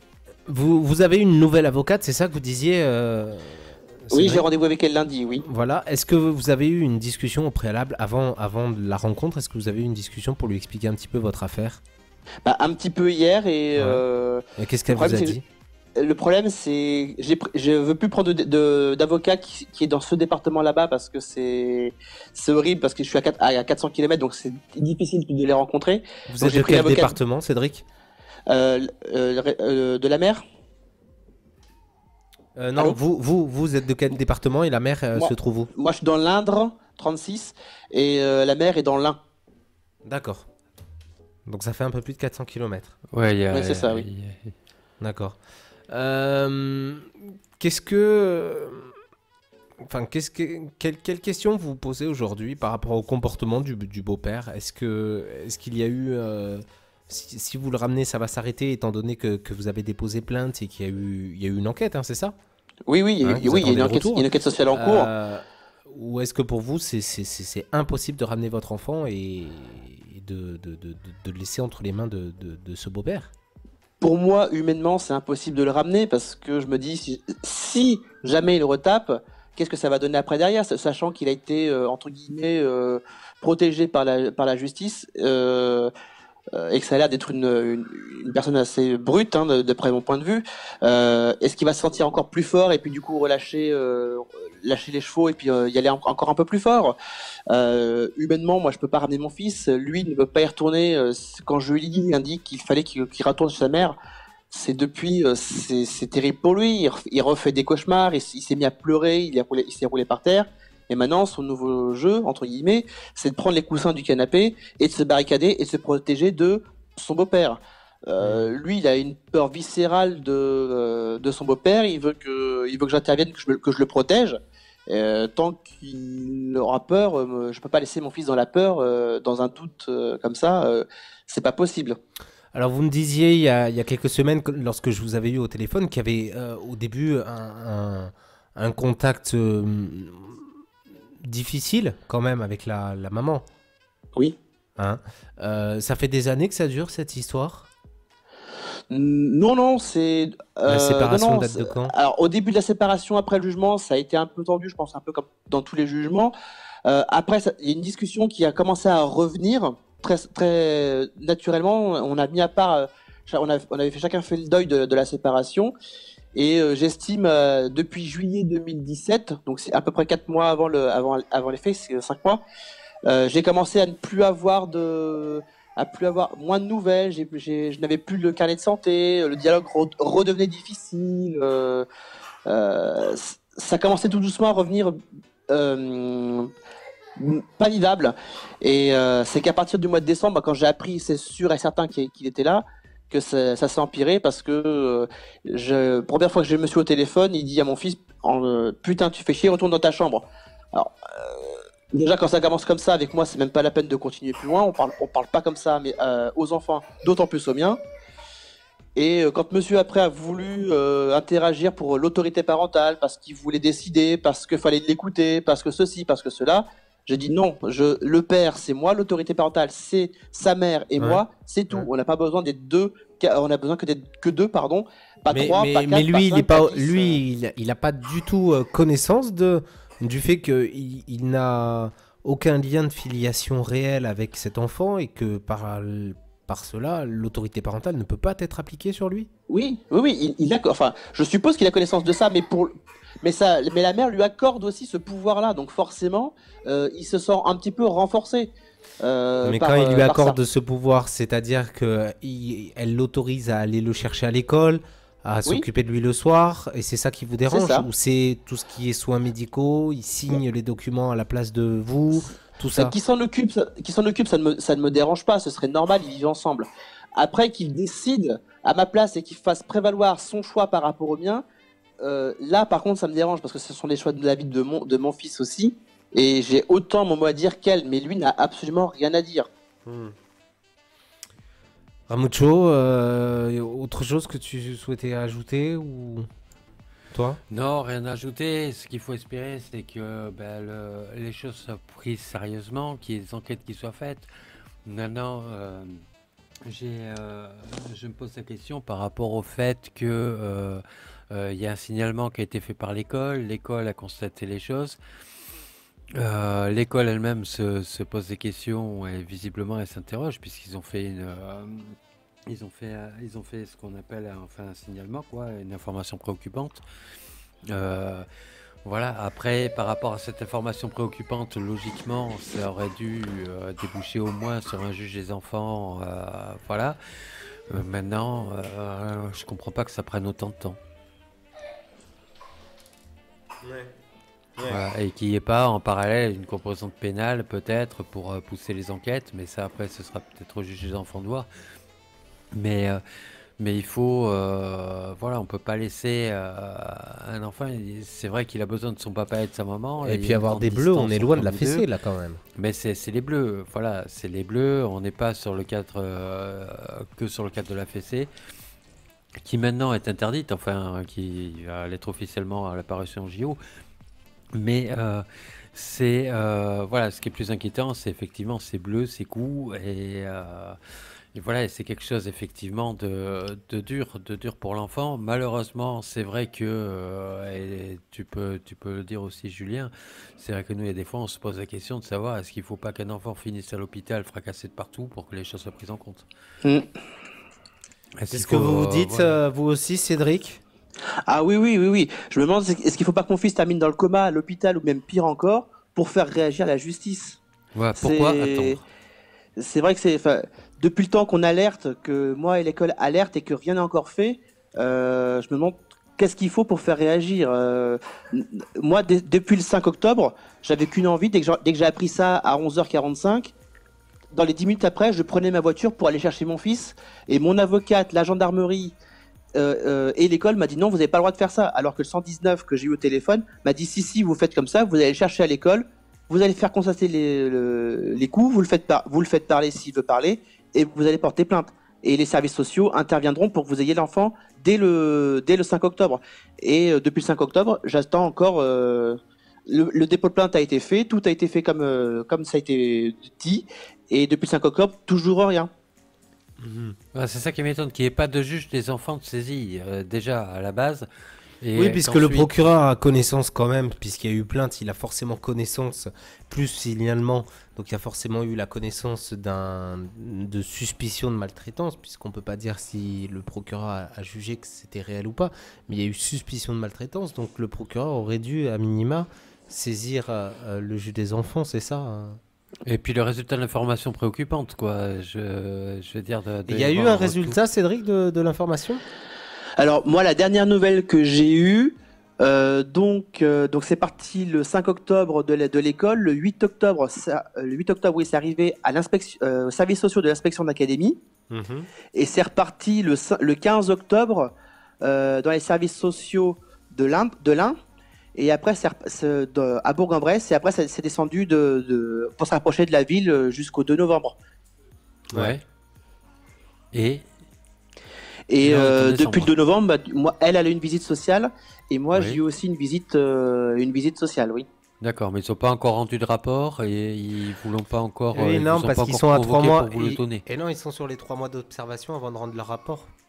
Ouais. Donc Et- ils sont encore dans les le délais pro- quelque part. Et Malheureusement. voulant, et, et voulant bien faire, le jour de l'inspection, bah, comme mon fils est inscrit à l'école, je l'ai laissé à l'école et euh, le- les services sociaux m'ont dit c'est dommage de l'avoir euh, laissé à l'école. On voulait le voir. Moi, tout bête, je l'ai mis à l'école pensant que ce serait bien. Et du coup, avant de revenir me voir avec euh, quand, euh, quand j'aurai l'enfant, elle me doit Voilà, me rappeler bon, le- bah, la semaine bien, prochaine. Voilà. Ok. Mhm. Donc les enquêtes sont en cours, les choses Oui. avancent. Là, potentiellement, euh, il est quand même dans un milieu où il est protégé euh, pour l'instant, sans avoir rompu le contact avec sa maman. Euh, et, Et- puis, ça, ça va leur permettre effectivement d'y voir un peu plus clair.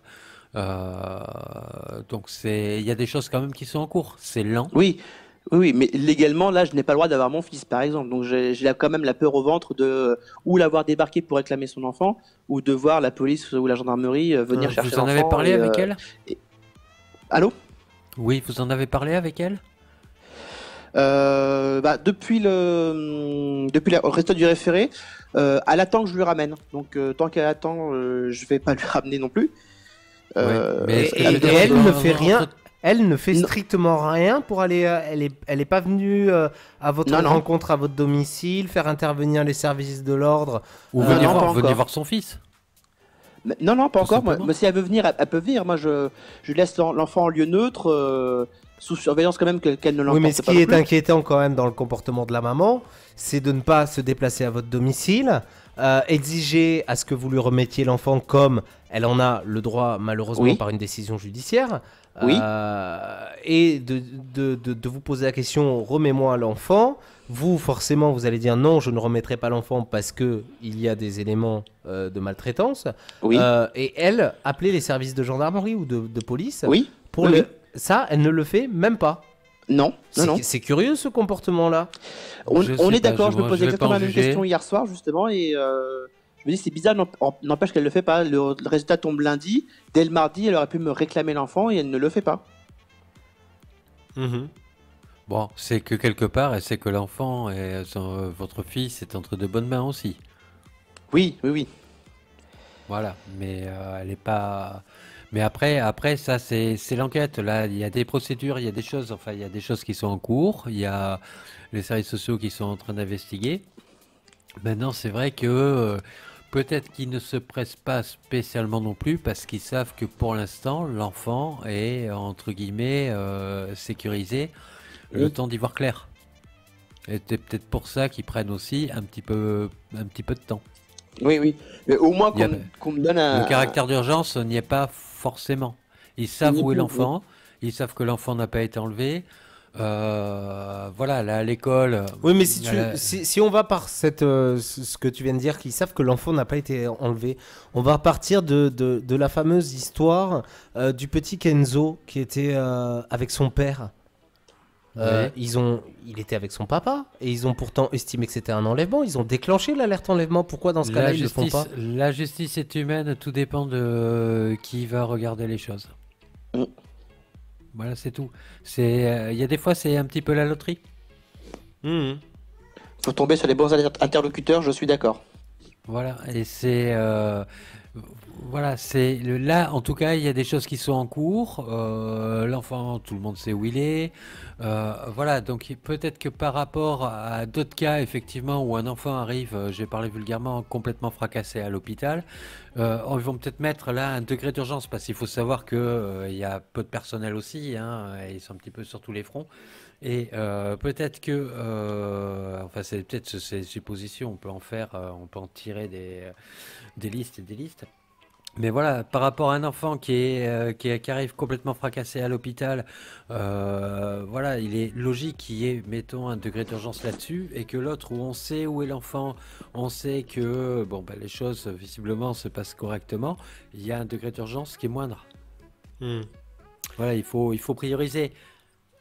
Cédric, qu'est-ce que vous comptez faire là par la suite avec, euh, avec votre enfant? Est-ce que vous allez vous-même euh, attaquer au pénal euh, le, ah le, beau-père ou est-ce que vous voulez souhaiter laisser faire le, cours de la justice? Bah pour la décision pour aller au pénal, c'est le procureur qui va la prendre et moi je me, je me constituerai partie civile euh, quoi qu'il arrive. Hein, mais vous savez que vous, pouvez assigner monsieur au tribunal. Ah bon, moi on m'a toujours dit que c'était le procureur. enfin, si, oui, moi, oui, je vais je vais y aller si je ne me trompe directement, pas. Vous pouvez faire une, euh, une assignation, mais ça c'est l'avocat, c'est l'avocat qui verra en fonction du dossier si effectivement il y a des éléments.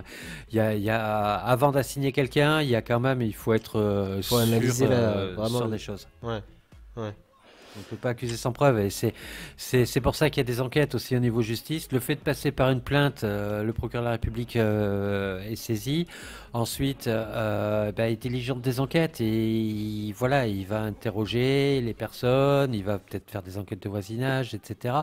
Voilà, et des, enquêtes, logiquement, euh, dans beaucoup de cas, sont faites. Il y a des fois non, hein, ça arrive. les classements sans suite, on voit euh, chez pas mal de victimes où c'est classé sans suite assez rapidement, faute de preuves. Voilà, le, un petit courrier générique. Mais euh, là, en l'occurrence, euh, voilà, il y a des choses qui sont en cours, il y a les services sociaux qui sont dessus. Voilà, donc euh, l'enfant, quelque part, est sécurisé. par rapport aux doutes qu'il pourrait y avoir de l'autre côté, parce que bon, on peut pas affirmer nous de notre côté, il hein, faut bien comprendre Cédric, on peut pas affirmer des choses, voilà. Mais c'est vrai qu'il y a des éléments qui tendraient à faire penser que, et à partir de là, euh, on sait que l'enfant de l'autre côté est quand même dans un milieu qui est, sécurisé, tout au moins sécurisant. Euh, il est scolarisé, donc il n'est pas désociabilisé, etc. Il a contact avec sa maman. Euh, donc, donc voilà, l'urgence est moindre par rapport à un enfant qui arrive fracassé à l'hôpital. Il y a des fois, c'est vrai, on peut se poser la question est-ce qu'il ne faudrait pas qu'il arrive dans le coma, comme vous disiez très justement, parce que dans beaucoup de cas, on peut se poser cette question-là en ce qui concerne la prise en compte des maltraitances. Mais vaut mieux que ça ne se fasse pas parce que bon, un enfant qui arrive fracassé à l'hôpital ou dans le coma, c'est que c'est très grave. Voilà, donc euh, pour votre fils, c'est quoi son prénom? Gabriel. Gabriel. Alors pour Gabriel, il vaut mieux qu'il euh, voilà, qu'il soit chez vous. Et je pense qu'ils en ont conscience et qu'ils savent. Et qu'ils prennent euh, peut-être un petit peu le temps de, de faire les choses.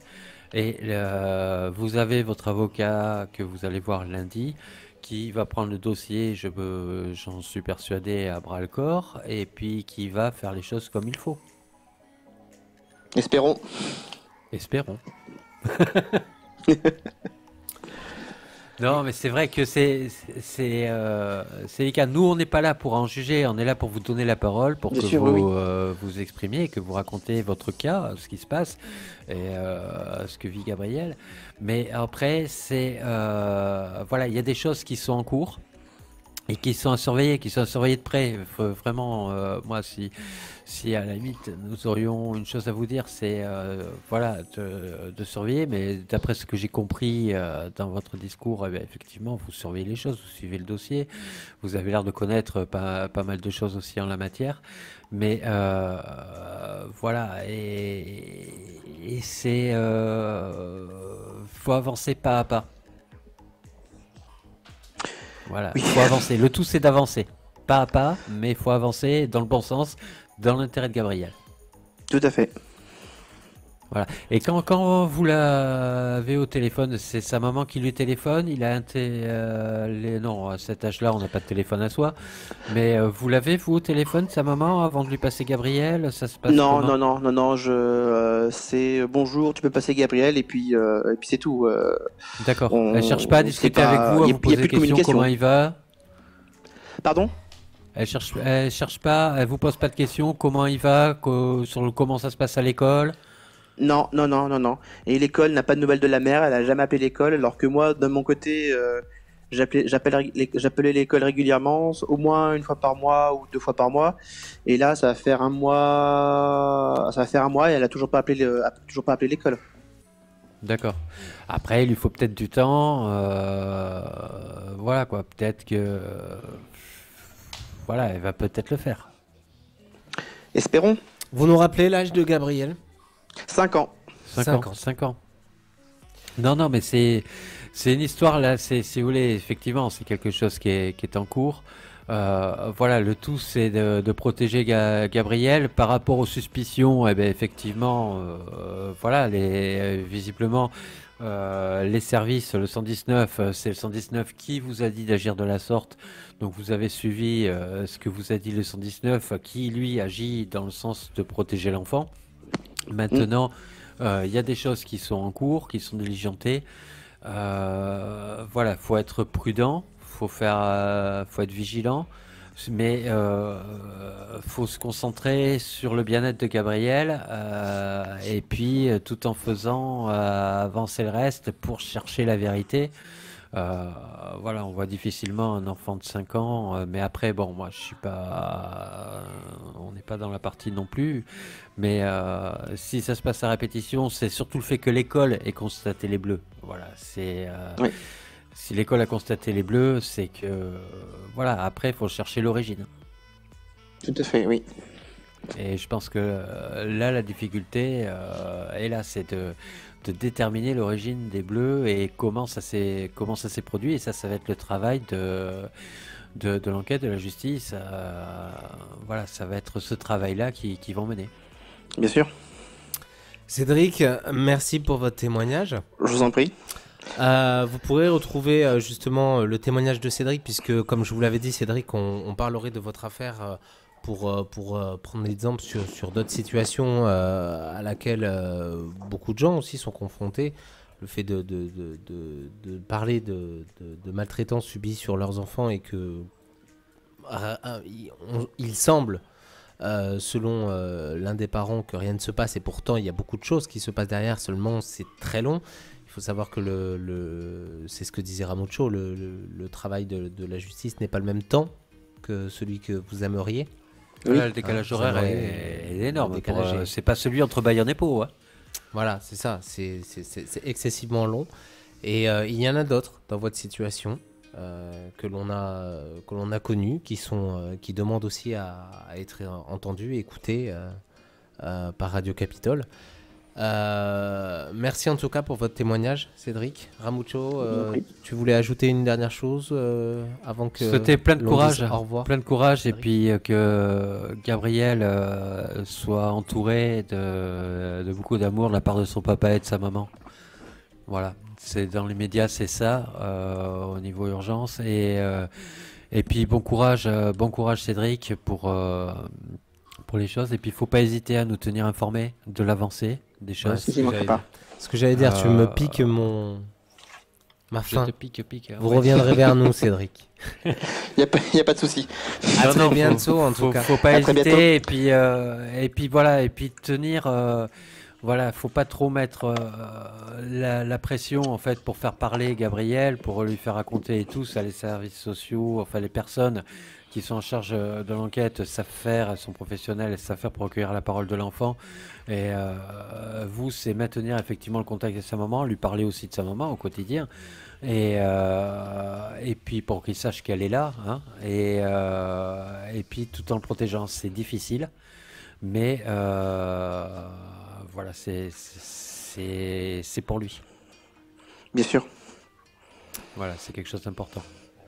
Merci en tout cas. Euh, bon courage, bon courage parce que c'est pas. Bon courage, bonne continuation à vous en tout cas, et je vous, je vous, tiendrai au courant de, la suite des événements. Merci. Vraiment, faut pas hésiter. N'hésitez pas à nous recontacter. Merci Cédric. C'est gentil, merci. Au revoir.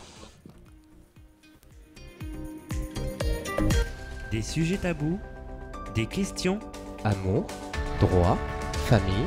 vous avez la parole sur Radio Capitole. Quelle situation encore, hein, Ramucho hein Ramucho n'est plus là. Muncho est là. Ce Ah. Je disais, je disais, c'est absolument terrible. quoi. Voilà, comme, euh, comme toutes les fois. Voilà, là, ce qu'il y a par rapport à à d'autres euh, d'autres cas qui nous ont été rapportés, c'est vrai qu'il y a des choses qui sont en cours. Il va voir son avocate euh, lundi. Euh, L'avocate ne peut que faire le nécessaire. euh, voilà, c'est pour pouvoir soit accélérer les choses pour clarifier une situation euh, d'un côté ou de l'autre. Euh, voilà, mais ce qu'il faut, s'il faut penser, c'est le, au bien-être de l'enfant, c'est à son quotidien. Euh, si effectivement il est avéré qu'il part chez sa maman et qu'il désigne telle ou telle personne comme l'auteur des Bleus, Oui, Parce que, ce le- selon ce que disait le papa, c'est, c'est, c'est- ça, ça paraît visiblement très clair pour cet enfant de 5 ans. Ça paraît clair, ça paraît clair pour l'enfant. Le problème, c'est la, la prise en compte ensuite. euh, voilà quoi. Est-ce que parce que ce qu'ils font, euh, ce qui est fait, c'est comme dans les histoires de euh, quand il y a une disparition dans une famille, quand il y a un meurtre, quand il y a, on se tourne de suite vers l'entourage proche. Donc euh, là, si les bleus, si les bleus sont constatés par par ce papa euh, au domicile du papa, c'est vrai qu'on peut, ça peut porter à suspicion parce que bon, on sait comment se passent les choses. Donc voilà. Maintenant, ça a été constaté à l'école. Et Oui. là, par contre, là, la, la donne est autre. Mm. Voilà. Donc, euh, faut que faut, faut que les choses soient faites sérieusement. Et à partir de là, euh, voilà, j'ai pas d'inquiétude, mais il faut que ce soit pris, euh, comme je disais tout à l'heure.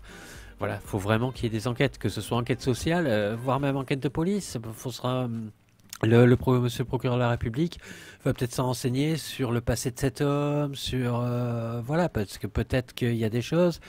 Et euh, voilà, peut-être interroger aussi la maman à part pour recueillir la, la vie de la maman.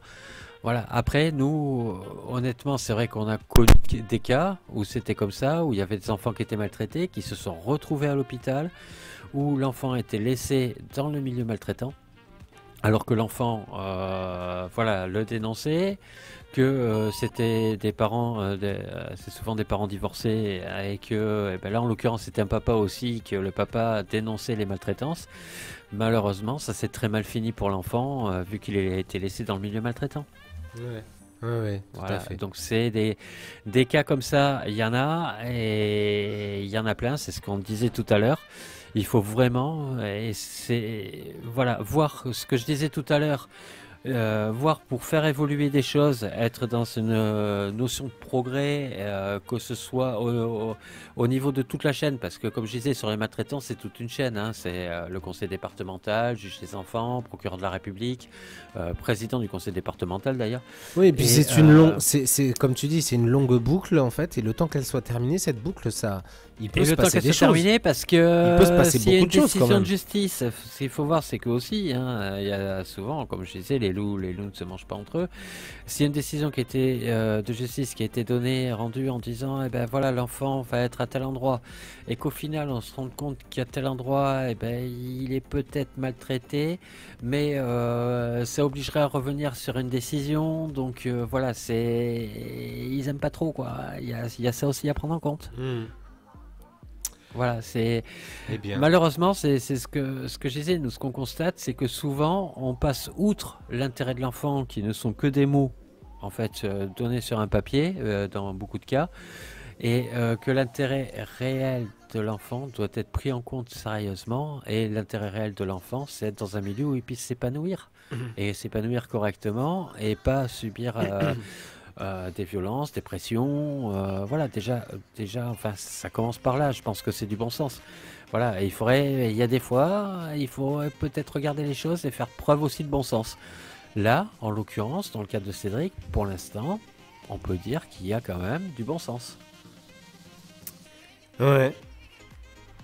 Voilà, ouais. c'est à suivre. C'est à suivre. Mais euh, Voilà, faudrait pas, euh, voilà, faut pas rentrer ensuite dans, des choses. euh, voilà, faut pas, il faut prendre le temps de rentrer en profondeur dans les choses, écouter l'enfant, euh, quitte à l'écouter plusieurs fois. voilà, regarder les éléments et puis qu'il y ait une enquête, comme je disais tout à l'heure, qu'il y ait une enquête de, police qui soit faite, puisqu'on est sur le, potentiellement on est sur de la maltraitance. Donc, Ouais, ouais, se fait. renseigner sur. euh, Il y a a priori une personne qui est euh, soupçonnée. Euh, bon, peut-être pas encore par la justice, mais voilà. Mais en tout cas, il y a, y a, tout au moins un faisceau. Il y a, il y a quelque chose qui s'est, certaines choses qui s'est à cette personne-là. Et qu'on fasse déjà une enquête de police. Hmm. Merci en tout cas Cédric. hein. Ouais, merci beaucoup d'avoir eu le courage de- d'en parler. Voilà, parce que Et, euh, et puis, et il faut avoir le que courage. Jamais évident. Il faut avoir le courage aussi de garder son enfant et d'être toujours en flip quelque sorte. Il doit pas dormir beaucoup parce qu'il doit quand même toujours être en flip de savoir si on va pas Ah ben, c'est sûr que ça, par euh, contre, tant que la situation, et c'est pour ça que je disais, sur ce côté-là, il faut qu'il y ait même qu'il y ait une décision, ne serait-ce provisoire, effectivement, mais il y a des choses qui sont en cours. Mais euh, une décision ne serait-ce que provisoire, euh, parce qu'il peut y avoir euh, la résidence qui peut être accordée provisoirement. Ça peut être une décision qui est assez rapide à Ouais. prendre, mais ça, c'est le travail de l'avocat. Hmm. Voilà, ça peut être, peut, la, la résidence provisoire peut être octroyée à tel endroit. Euh, voilà, en attendant d'y voir clair. Et là, c'est vrai que ça permettrait de tranquilliser euh, quelque part Cédric, et sachant que les enfants sont des éponges, donc derrière aussi tranquilliser Gabriel, euh, qui sentira euh, moins de euh, moins de stress, parce que bon, ils le ressentent, hein, on n'a pas besoin de le montrer, même si on veut monter le contraire, les enfants sont des éponges. Mais euh, voilà, ça permettrait de clarifier au moins provisoirement la situation, le temps d'y voir clair et Mhm. de poser les choses pour être sur Tout des à bases fait. Tout à fait. Voilà, et ça c'est pareil, ça devrait faire partie en fait de ce système-là et c'est du bon sens d'essayer de faire les choses dans l'ordre. Hmm. Voilà. Une décision provisoire, par défaut, elle est provisoire. Elle peut très bien être changée en fonction de l'évolution de certaines De la, choses. si- et de la situation, tout à fait. Voilà, donc Ouais. pour- euh, Et ça permettrait de tranquilliser, justement, de tranquilliser. Là, c'est le cas, euh, le cas de Cédric, mais ça peut être également le cas d'une maman. hein. voilà, c'est, il n'y a pas, il a pas une notion de papa, euh, de papa ou maman. Non, hein. il y a une deux notion aussi. que- Oui, et puis surtout que le- la, la priorité, c'est l'enfant. Voilà, là, il y a deux parents et Voilà. la priorité est l'enfant. On se fiche que ce soit papa, maman, euh, maman, maman, puisque maintenant, euh, voilà, il y a des choses qui évoluent dans ce sens-là, ou papa, papa. Euh, je veux dire, c'est deux parents. Papa, papa. Après, après, on se fiche, on se fiche du reste. On se fiche de qui est papa, de qui est maman. C'est, il y a deux parents. Voilà, chacun. Et puis il n'y a pas de champion du la monde. de la Ça, c'est une chose aussi que je voudrais rebondir dessus. Il n'y a pas non plus de champion du monde de meilleurs parents, quoi. hein. Ça, ça n'existe pas. Tout le monde fait des erreurs. Tout le monde. Et Il me euh, semble qu'être parent est le plus dur métier du monde. ah, c'est le plus dur métier, ouais. Voilà. On en sait quelque chose. exactement, exactement. Mais, euh, mais c'est vrai. Mais par contre, ça apporte. C'est tellement de bonheur, quoi, de, voir grandir, euh, grandir son enfant ou ses enfants. C'est euh, voilà, et c'est pour ça. ne- il faut jamais. C'est pour ça que j'insistais euh, un, petit peu là-dessus pendant qu'on échangeait avec Cédric, et ne jamais couper un enfant, quelles que soient les raisons, de son autre parent. Voilà. Si l'enfant doit être coupé, c'est la justice qui en décidera. Hmm. Voilà, c'est l'injustice avec des éléments factuels, avec des éléments réels, euh, et pas quelqu'un qui interdira euh, de sortir des éléments de preuve, de sortir euh, ou de parler ou de s'exprimer, mais ou inventera ou réinventera les histoires, parce que ça existe, la justice est humaine, hein, voilà, il y a de tout, c'est comme partout. Mais c'est la justice et autres. hein. Mais voilà, après, voilà, il faut que les parents arrivent dans tous les cas à faire ça intelligemment. Voilà, il n'y a pas de notion de papa, maman, de choses. On est deux parents, on a eu un enfant ensemble, on l'a fait ensemble. Euh, les griefs, c'est vrai que c'est peut-être facile à dire quand il y a des choses qui sont fraîches, une situation de séparation qui est fraîche euh, où euh, il y en a un qui est complètement effondré, l'autre qui est euh, dans l'euphorie. euh, voilà, on ne sait pas, tous les cas de figure sont possibles. Mais euh, s'il y a un enfant au milieu, euh, voilà, c'est ne couper jamais l'enfant de l'autre parent. Après, l'enfant, lui, on peut pas le couper en deux. Il faut qu'il soit ou chez l'un ou chez l'autre. On peut pas le couper en deux. Mais ne coupez pas les liens. Ne coupez pas les liens. C'est dans l'intérêt de l'enfant et c'est c'est la base. Il a besoin de son papa et de sa maman. Hmm. Et inversement. Merci euh, Ramucho pour euh, cette voix euh, aussi euh, sage, parce que tu es la voix de la sagesse de Radio Capitole. Je ne sais pas. hein. Non, non, mais j'essaie de voir les choses Non, avec, as- euh, tu- tu du recul, avec du bon sens, avec, avec une expérience de parents également, et puis avec euh, tout ce qu'on voit, euh, tout, ce qu'on voit. Nous, après, on peut pas aider plus loin les personnes qui nous contactent, comme on disait tout à l'heure, parce qu'on n'est pas juriste, on n'est pas, voilà. Mais euh, quoique, il y en a dans l'équipe de Radio Capitole qui ont, une carrière sociale, n'est-ce pas euh, Mais euh, qui ont évolué dans ce milieu-là. Mais euh, c'est, je veux dire, après, c'est des, des- à chaque fois, ce sont des histoires qui sont délicates, mais surtout qui sont douloureuses. Et qui sont douloureuses pour tous. Et c'est, pour ça que euh, se mettre euh, au niveau de, de l'enfant et replacer l'enfant au centre et faire comprendre aux parents. euh, là, c'est pas le cas de Cédric, a priori. Hein, euh, voilà, mais on voit tellement de cas. Faire comprendre aux parents que voilà bon, pour moi la priorité est là faire comprendre aux parents qu'il y a un enfant ou deux ou trois peu importe mais voilà avant de se battre euh, pour une histoire de pension alimentaire etc il vaut mieux s'arranger pour l'enfant. Parce que la notion d'intérêt de, de l'enfant qu'un parent aimant et attentif a n'est pas la même notion d'intérêt de l'enfant qu'à la justice. La justice elle rend une décision. C'est son seul bu- seul but. Une fois qu'elle a rendu la décision voilà. Le- son, son- son rôle est de rendre une décision.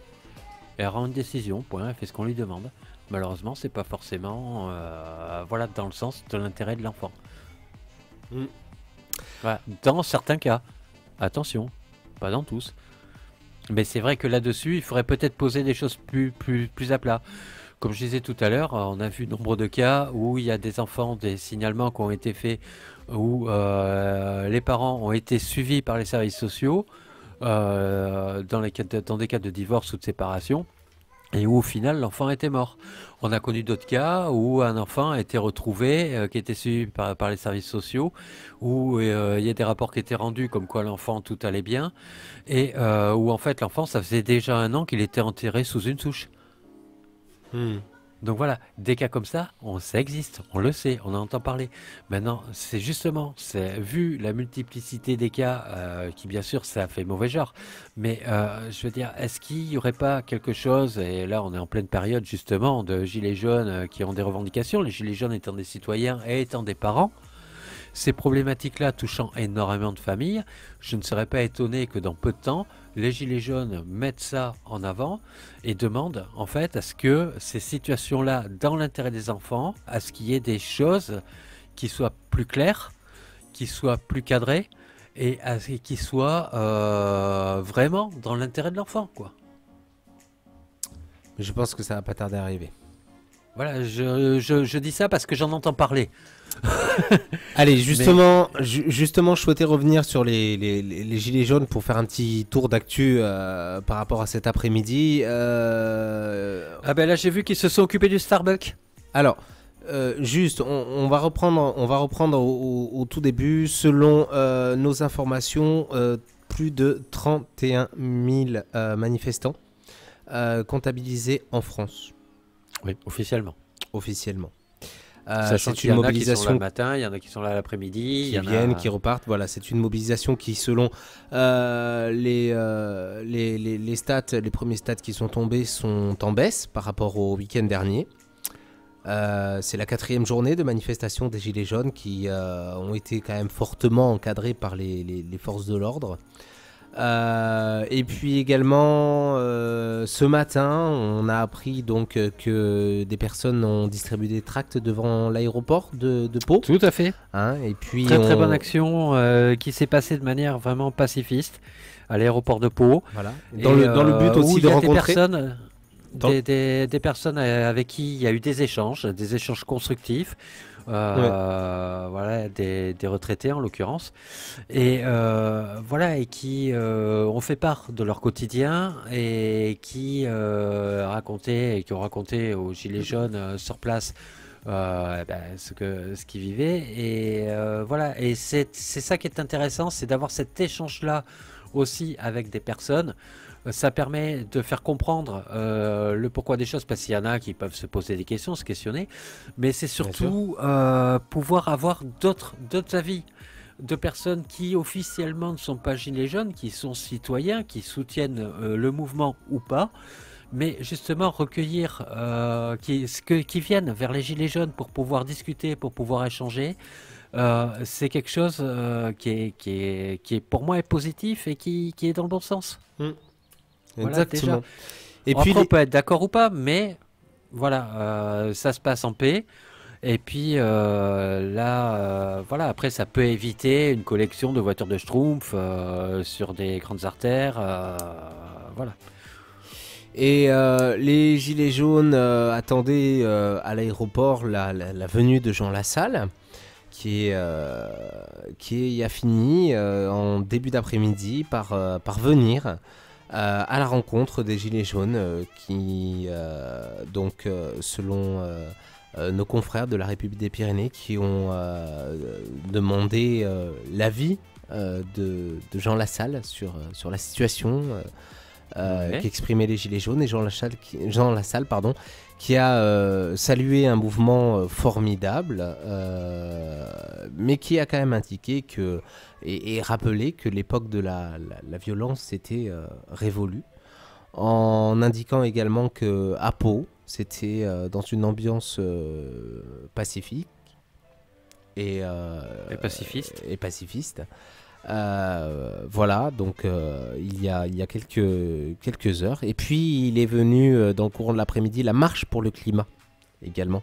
Oui, qui est Qui était- très très importante cette marche pour le climat, parce que c'est vrai que voilà, c'est c'est pas une question d'air du temps, c'est une question, c'est pareil, c'est comme pour euh, pour les enfants, pour euh, le- le- leur bien-être, c'est du bon sens.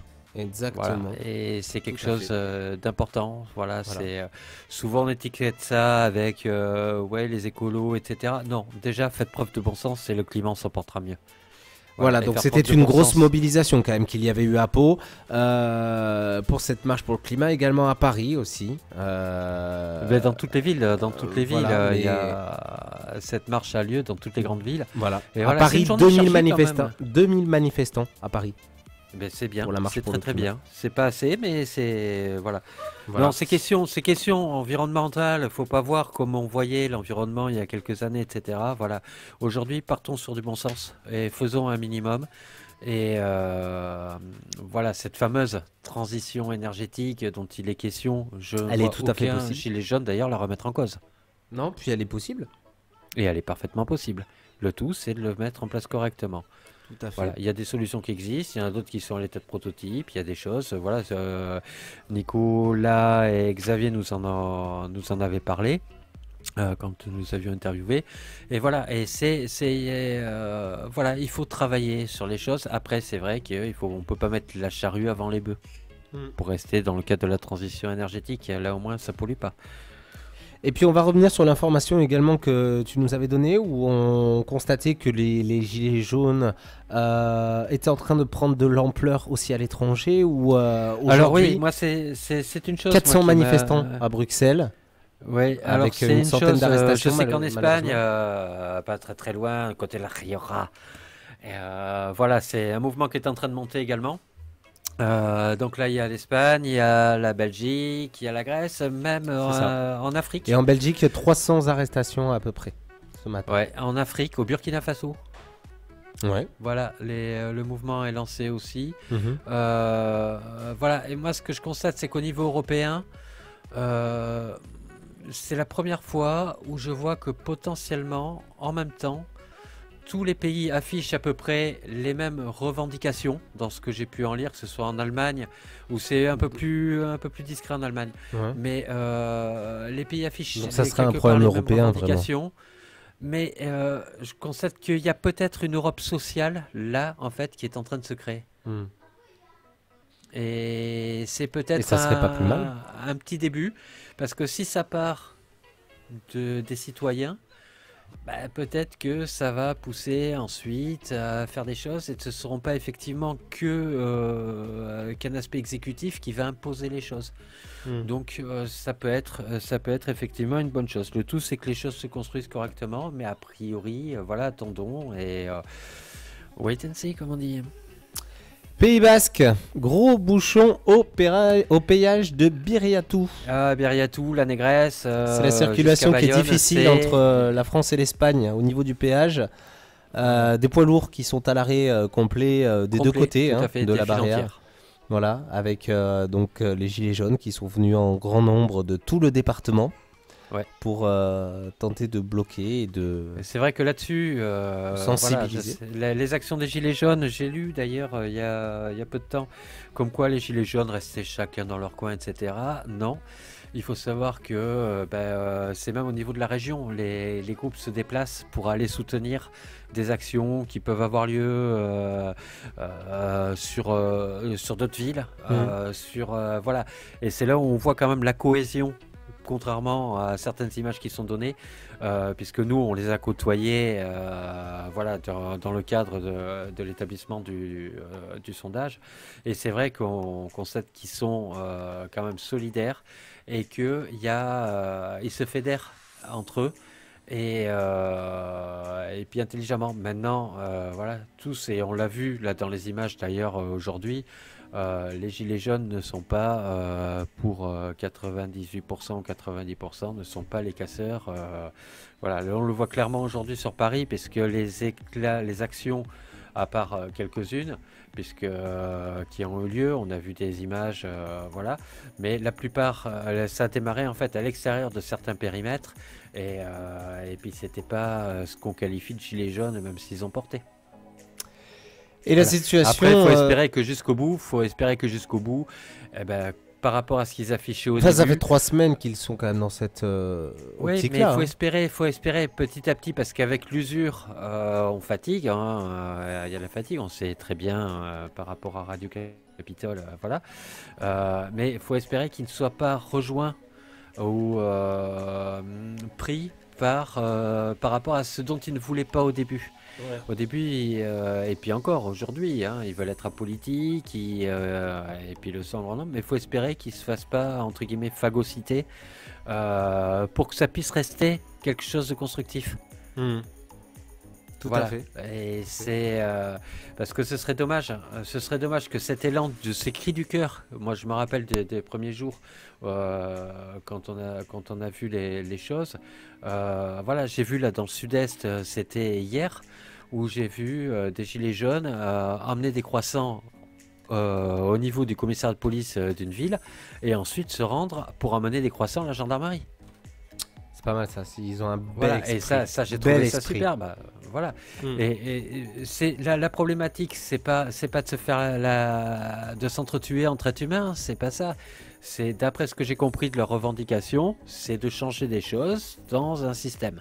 Après, il y a des choses possibles ou pas. euh, je ne suis pas politique, Hmm. euh, je ne suis pas à l'exécutif, je ne suis pas euh, voilà.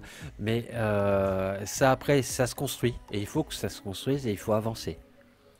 Allez, on Voilà, fait un tour je sur sais la- qu'il y en a qui font les choses intelligemment. Le, point de la situation à 16h05 qui est fait par euh, les autoroutes euh, A63. Si vous souhaitez emprunter l'autoroute, vous qui conduisez direction l'Espagne, la sortie sera obligatoire à Saint-Jean-de-Luz nord-sud. Euh, et également, si vous souhaitez vous rendre sur bah, Biarritz, euh, il y a actuellement des manifestants qui sont présents donc à Biriatou, à Biarritz-la-Négresse, À la tu connais Négresse. C'est ça, hein Ouais, Euh, et tout, la négresse. et à Et Bénès-Marraine. à Bénès Marraine. Voilà. On est un peu plus haut, on est dans les Avec des ralentissements euh, sur place et bien évidemment si vous souhaitez vous mettre au courant pour cela rien de plus simple vous euh, mettez votre radio et vous branchez sur le 107.7 Et des ralentissements euh, importants, voire très très importants. tout à fait Après, vous pouvez emprunter la nationale. Bien vous pouvez. L'avantage, c'est qu'on prend du temps et puis ça pa- et puis au feu, etc. Certains ronds-points, ça permet aussi de, de discuter avec les gilets jaunes exactement mais bien sûr et ça, et ça permet de voir des paysages et Ouais. de rouler moins vite, donc de polluer, de polluer moins. Alors, je suis en train de regarder les clichés qui sont faits par nos collègues de la République des Pyrénées sur la marche pour le climat et je trouve qu'il y a excessivement du monde avec des slogans énergie. euh, on, on voit énergie, penser au tri. Euh, on a également euh, pas. euh, J'ai un peu de mal à lire les, certains slogans, mais on a, on a des, très beaux, des très beaux clichés avec des gens qui, qui ont l'air vraiment enthousiastes. Euh, c'est un peu compliqué. Alors, ils sont tous par terre. Et puis, il y y, y a des beaux déguisements aussi qui ont été faits, Ramucho. Euh, des déguisements avec des arbres, euh, des choses comme ça, en papier euh, mâché pour montrer le- le- la végétation qui est indispensable à notre terre. Oui, non, non, mais tout à fait. Ils sont vraiment, non, non, ils sont vraiment assurés à peau. Ouais, non, non, mais c'était, c'est, c'est une très très bonne démarche. Voilà, la- la- la- l'actualité en fait est riche aujourd'hui hein, là-dessus, ouais. sur le front des, de l'humain. Entre les gilets jaunes, la marche pour le climat, le téléthon. Ouais. Il y a beaucoup d'événements quand même. Tout à fait. C'est une Tout journée riche. Tout à fait. Euh, et, et- et au niveau de Paris, est-ce que tu as des, des- des informations puisque ça, Il y a tu des disais en début d'émission, en début direct, que ça, ça se tend un petit peu. Ça se tend. Les, euh, des véhicules ont été incendiés, le Starbucks euh, a été euh, ravagé. Ouais. Voilà. Et, Il y a eu une tentative d'attaque euh, du drugstore de Publicis, selon euh, nos confrères euh, de, de BFM. Euh, Et puis euh, nos amis CRS, euh, les gendarmes m'en voudront pas de prendre cette analogie, mais a priori ils en avaient l'air d'être sur place et puis ils font des footings. Ouais. ouais. Euh, il y a euh, également, euh, donc comme je le disais tout à l'heure, en Belgique, donc à Bruxelles, 400 manifestants avec une centaine d'arrestations ce matin. Euh, 2000 participants à la marche du climat cet après-midi à, Paris. Et puis voilà, pour, redonner le gros chiffre établi par le, secrétaire général du gouvernement qui dit qu'effectivement il y a eu, il y aurait euh, à la mi-journée 31 000 manifestants en France. Ouais, ce qu'il faut comprendre, c'est que euh, il est vrai que les, euh, il y a des casseurs, certes, mais euh, il y a des, des gens qui sont qui n'en peuvent plus et qui n'ont plus rien à perdre. Et des gens euh, qui sont montés de province, euh, Mm. etc. Et c'est vrai que euh, il y, a, il y, a, il y a des choses potentiellement pour avoir entendu les discours et pour avoir entendu les revendications et puis des témoignages de personnes euh, qui vivent euh, au quotidien, euh, c'est vrai qu'il y, a de- il y, a, il y a vraiment une urgence de, de changer certaines choses. C'est vraiment urgent pour, pour bon nombre de personnes. Il y a une urgence. Allez, je te fais une petite surprise. Regarde qui c'est qui va être au téléphone, probablement, je l'espère.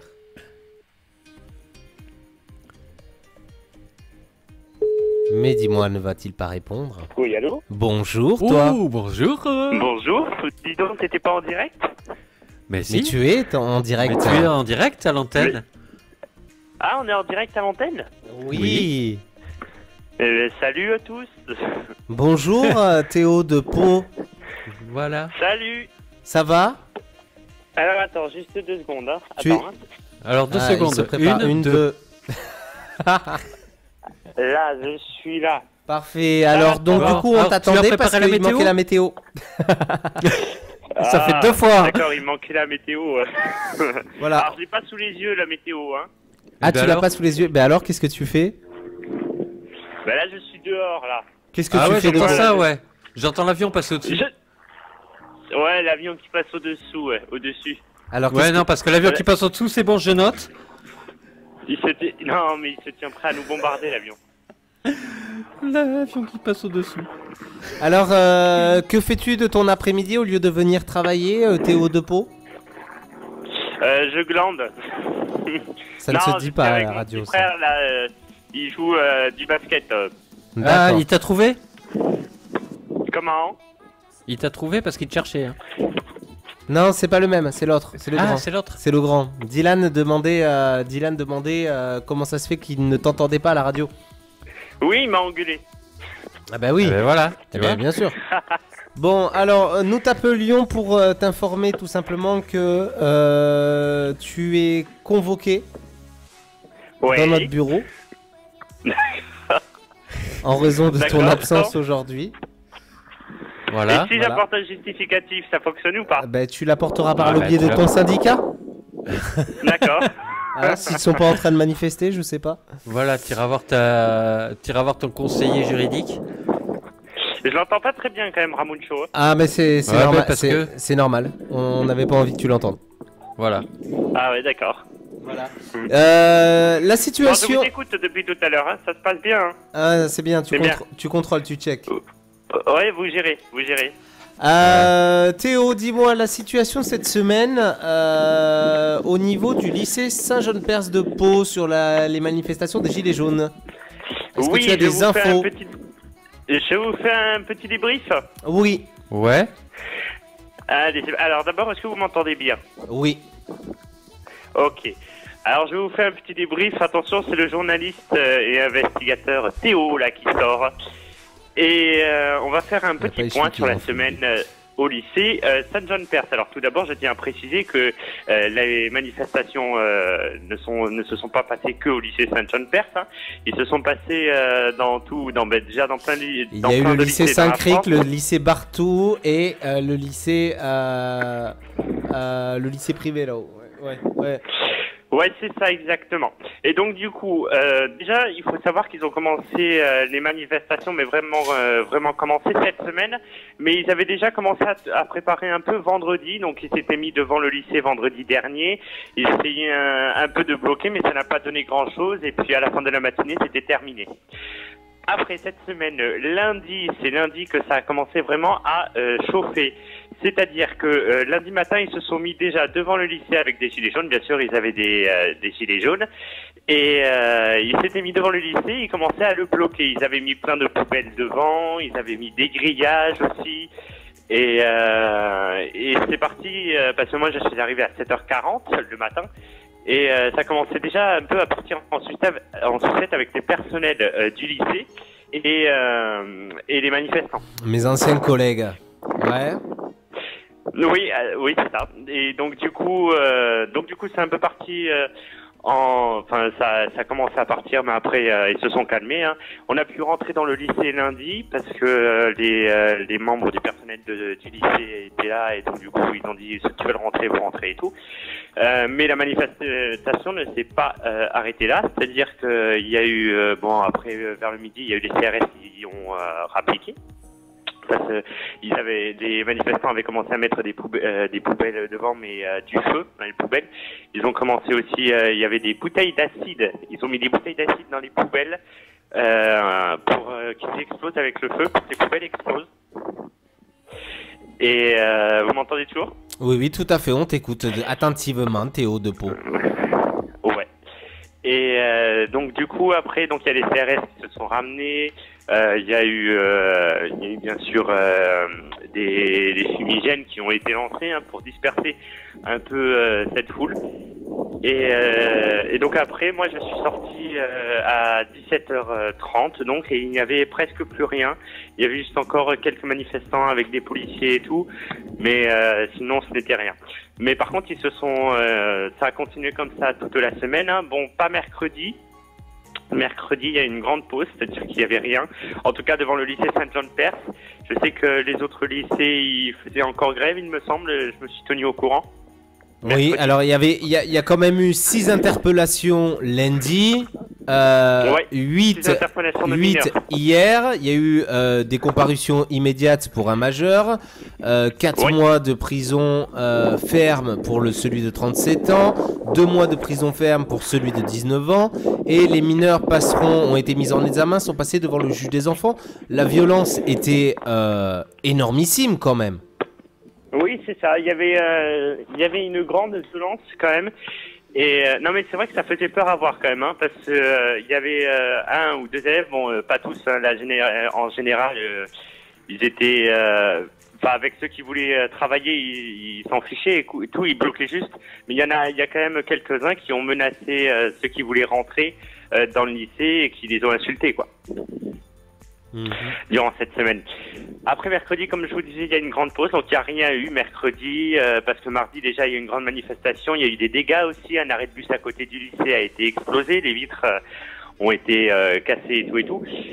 Et, euh, et je crois même et je crois même savoir qu'il y a eu un feu dans un autre lycée, euh, qui a, un lycée qui a, qui a pris feu, non? Alors il y a un lycée sur Dans Toulouse. cette semaine. Sur Toulouse. Sur Toulouse, ouais.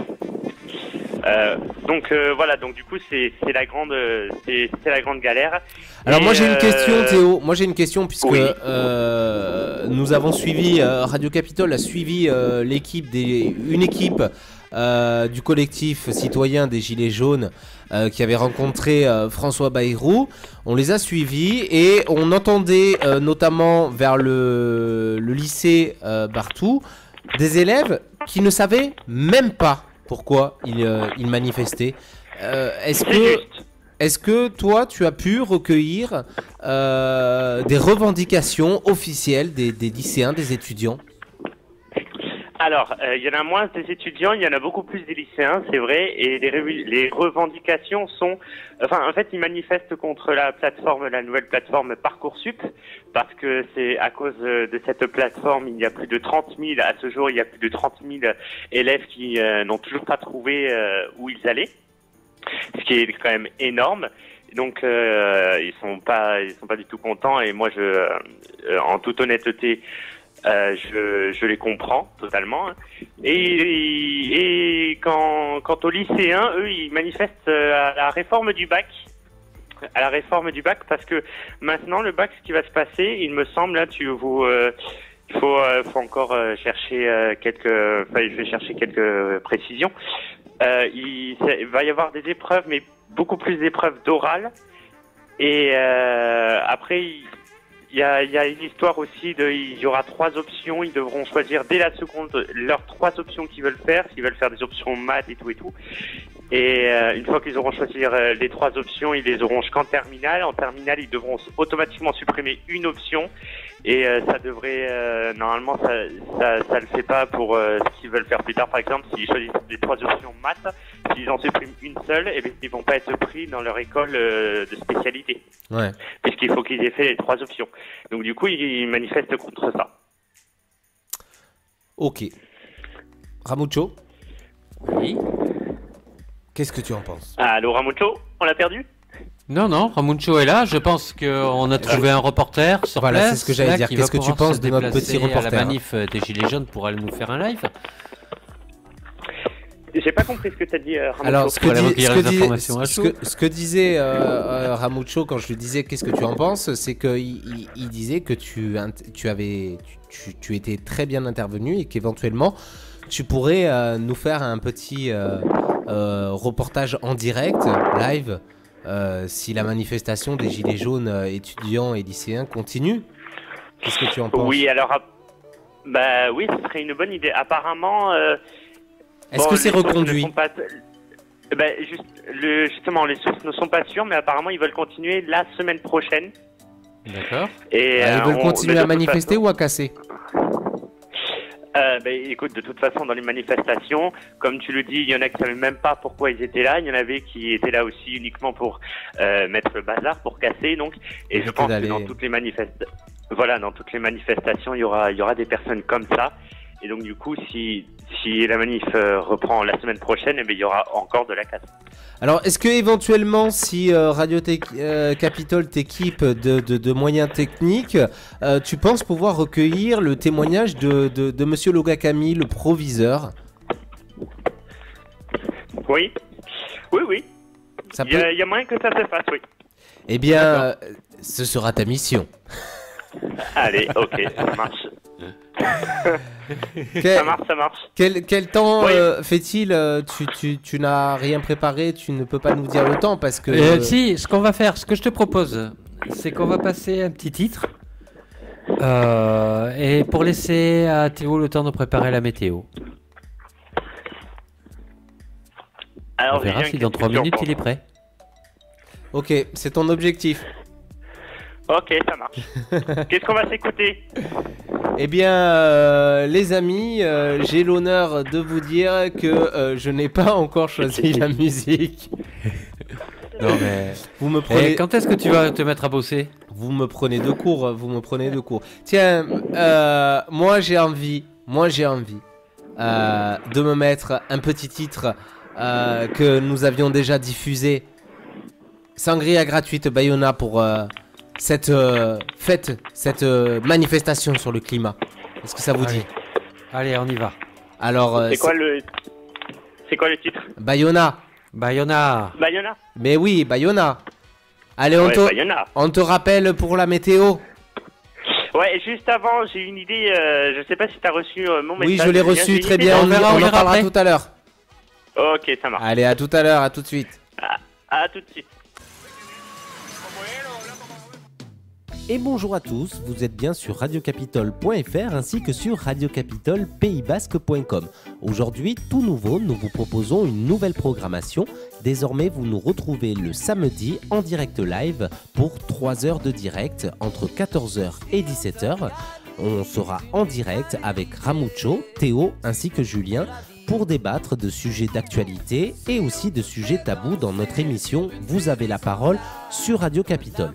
Vous souhaitez intervenir en direct et exprimer un sujet qui vous paraît tabou ou bien expliquer une situation qui vous préoccupe, Radio Capitole vous accueille avec plaisir dans nos studios situés à Pau ou bien en enregistrement préalable d'une interview. Pour cela, rien de plus simple, il vous suffit de nous adresser un email à témoin sans le s radiocapitole.fr témoin sans le s radiocapitole.fr ou bien encore de nous contacter sur notre répondeur de la messagerie de Radio Capitole au 0811 69 08 32 0811 69 08 32 sans oublier que vous nous retrouvez sur tous les réseaux sociaux, Instagram, Facebook, Twitter et même Snapchat pour débattre en direct pendant ce direct avec le hashtag direct live Radio Capitole ou bien le hashtag VAP, vous avez la parole sur Radio Capitole. Je vous propose de vous retrouver samedi de 14h à 17h pour le direct live sur la web radio, mais aussi en direct live sur notre page officielle Facebook Radio Capitole ainsi que Radio Capitole Pays Basque.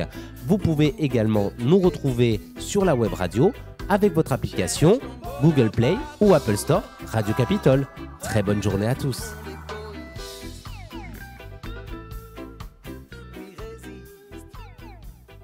Écoute Radio Capitole, tu découvriras des informations, des reportages, de la musique pour papa, Pour maman, pour papy, pour mamie, mais aussi tonton, tata, mon frère. ma sœur. Bref, si tu écoutes Radio Capitole, c'est pour toi, mais aussi pour ceux qu'il y a autour de toi.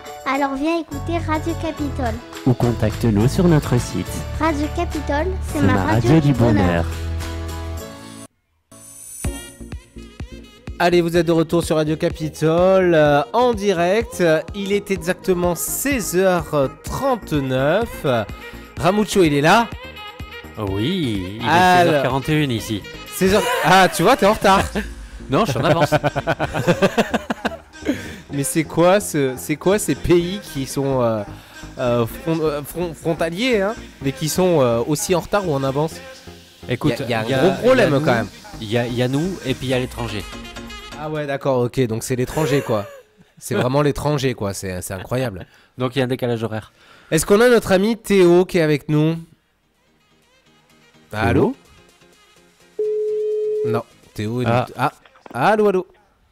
Oui, je suis là. Hey Ah, On a eu peur. Salut On a cru que tu n'étais plus là.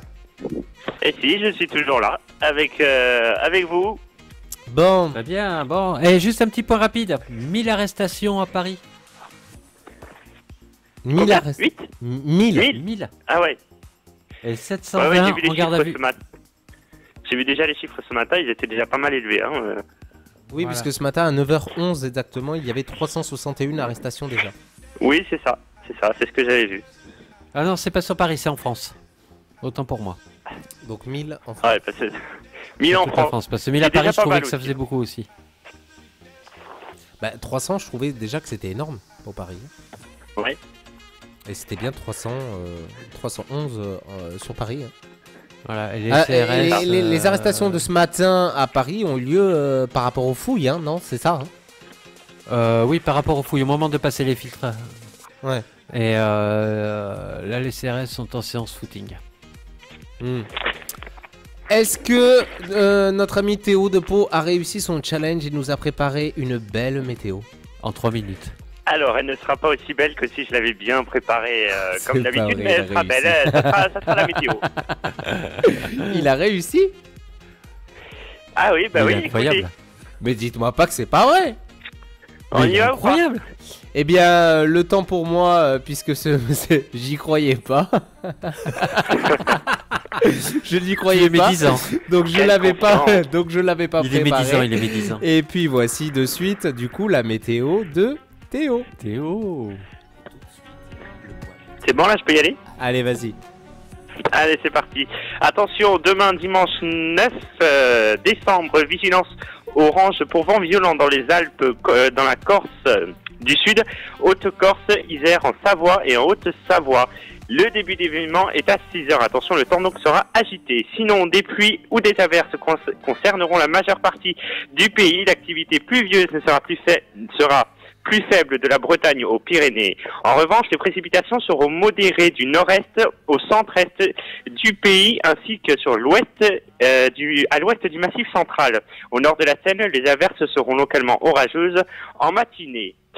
Euh, partout, partout ailleurs, le vent d'ouest euh, à nord-ouest, euh, je vais y arriver partout ailleurs, le vent d'ouest à nord-ouest soufflera fort avec des rafales de 70 à 80 km heure à l'intérieur des terres de 90 à 110 euh, km heure près de la Manche. Pour étant, euh, Nancy en Corse, que le vent sera plus violent avec des rafales de l'ordre de 130 à 150 km heure et de 180 à 200 euh, km heure sur l'est de l'île. Côté température, l'après-midi, il fera euh, non, d'ailleurs, le matin. Le matin, les températures iront de 5 à 12 degrés de l'intérieur vers les côtes. L'après-midi, il fera 8 à 13 degrés sur la moitié nord et sur le centre-est du pays, 12 à 15 degrés au sud et jusqu'à 16 à 20 degrés près de la Méditerranée. Lundi, le temps s'améliore un peu. Alors, il fera euh, du soleil le matin euh, sur à peu près tout, toute la France, sauf euh, sur euh, l'est euh, du pays où il fera pas mal nuageux et où il neigera à hauteur de, de plusieurs milliers de mètres. Je n'ai pas la précision exactement sur l'est du pays. Sinon, il fera euh, assez beau le matin euh, sur, euh, par exemple, à Pau. Il fera soleil avec un peu de nuages à à. Paris. Bref, comment? Il fait toujours beau à Pau. Fait toujours beau à Pau, mais t'inquiète pas, au Pays Basque, il fera beau aussi, avec un peu de nuages. Il y a que vraiment... Euh, euh, alors, j'ai pas la pas beau. précision. S'il y a des nuages. il y a, il y a, que- il y a vraiment que sur le Provence-Alpes-Côte d'Azur qu'il fera euh, un peu nuageux et qu'il pleuvra. Côté température, le matin, ils iront de 7 à 12 degrés, 7 degrés euh, à Paris, à Paris 7 degrés à Paris, 12 degrés euh, à non 9 degrés à Lyon, 12 degrés euh, en en, je vais y arriver au Pays Basque euh, et, 4, et 16 degrés en Corse. L'après-midi, le temps euh, ben, ne changera pas. Il sera toujours euh, le même avec euh, des températures euh, qui sont qui seront revues à la hausse. Il sera assez bon lundi avec de la pluie toujours sur sur l'est du pays et du soleil partout ailleurs. Les températures elles iront de 10 à, à 17 degrés. Euh, 10, de- 10 degrés à non 5 euh, qu'est-ce que je dis? 10 degrés à Paris euh, et, euh, et, et là, je suis perdu. Donc, du coup, ce sera 10 degrés à Paris, euh, 14 degrés euh, au Pays Basque, euh, 15 degrés, euh, non, 13 degrés, pardon, au Finistère. Euh, c'est dans quel département déjà le Finistère? La Bretagne. La Bretagne, voilà, 10 degrés. Euh, non, je suis plus, euh, 14 degrés en Bretagne et, et 18 degrés en Corse. Et voilà pour la météo. Eh bien, merci euh, Théo. Et euh, là, tu De t'es arrêté à quel jour? Comment? Tu t'es arrêté à quel jour? Là, je me suis arrêté à lundi. Vous voulez que je fasse mardi? Euh, Non, c'est bon, on va y aller. Euh, On passe à la suite, s'il vous plaît. Non, bah, c'est- J'ai pour mardi aussi. Hein. Mardi, euh, les- Alors, quel temps fait-il mardi? Ben, mardi, les nuages arriveront euh, de plus en plus vers l'est et seront s'installeront euh, de plus en plus sur l'est du pays. Euh, sinon, il ne pleuvra toujours pas et il fera toujours beau sur la moitié sud et sur la moitié nord, il fera plus nuageux, mais les températures, elles, permettront à ce qu'on porte bien des gants, par contre, et des écharpes parce qu'il fera euh, frais assez frais de 4 à euh, 15 degrés, 15 degrés en Corse, euh, 7 degrés à Lyon, 11 degrés au Pays Basque, 11 degrés euh, également en Bretagne et 8 degrés à Paris. Merci beaucoup. Et mercredi? Mais de rien. Et mercredi Et mercredi? Vous voulez encore mercredi? Euh, Ouais, vas-y, il nous reste un quart d'heure. Allez, vas-y. Non mais on va pas passer non plus. euh, Euh, Mercredi, il va pleuvoir Mercredi, partout, par contre, la pluie. sauf Mercredi, par contre, la pluie se ramènera sur euh, quasiment toute la France. Il n'y a que vraiment euh, le sud-est qui sera épargné, sauf la Corse, bien sûr, où il pleuvra. Et sinon, il pleuvra sur tout, sur tout le pays, la majeure partie du pays, avec des températures en baisse de 4 à 12 degrés euh, en moyenne. L'après-midi, eh il pleuvra euh, pareil sur quasiment toute la partie euh, du pays, avec toujours autant de pluie et les températures euh, qui seront assez basses aussi. Donc prévoyez euh, de quoi vous couvrir. Merci beaucoup. Et On passe aux insolites. La même chose pour Ah jeudi. Ce pas sera la la même chose pour jeudi et la même chose pour vendredi. De la pluie, des éclaircies. euh, voilà. Donc en quelque euh, sorte, on a quand même un temps pourri cette semaine. On oui, c'est temps ça, il pourri faut mieux euh, semaine, se ouais. couvrir. Euh, par contre, euh, juste pour info, j'ai un petit truc à 23h ce soir. euh, il fera quel temps? À 23h ce soir? Ouais. Quel temps je vais avoir Alors, Comment je dois m'habiller Eh ben écoute, euh, si tu veux le temps Tu que peux tu auras, sortir parce ton que caleçon à mon écharpe. truc. Non mais il faut que tu regardes. Ce soir il va faire frais, mais il faut que tu regardes. Ah, d'accord. Ok. bon, oui, bah, là je te- euh, c'est bon. Hein. Là, là, je crois que là, tu l'as. Pouf. tu m'as tué. Tous les samedis, il va mettre son portable sur mode avion. Non, parce que c'est exceptionnel que je sois pas là aujourd'hui. Sinon, je serai là, bien sûr, euh, tous les samedis. Euh. bien sûr, pour le direct avec vous, je ne quitte pas Radio Capitole. En attendant, Théo, vu que Facebook est bloqué actuellement, on te retrouve où? Sur quels réseaux sociaux? Social. Alors oui, malheureusement, Social. Facebook...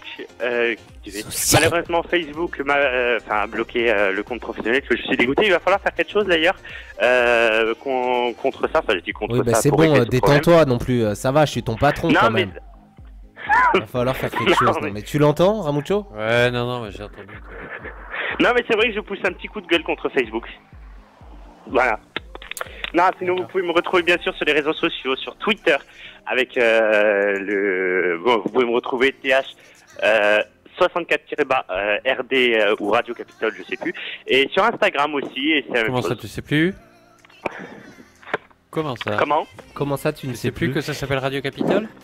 Non, Théo 64 tiré du bas, euh, tiré bas, RD Capitol. Alors, non, parce que je je sais plus parce qu'il y a, il y, a un- il y a un réseau euh, social où c'est tiré bas Radio Capitole et il y a un autre où c'est tiré bas RD Cap. Oui, parce que l'histoire de bien lui mettre, tu vois, le sais- truc, euh, je- bien je lui complexifier le truc, je lui en ai mis un avec RD Capitol et un avec Radio Capitol.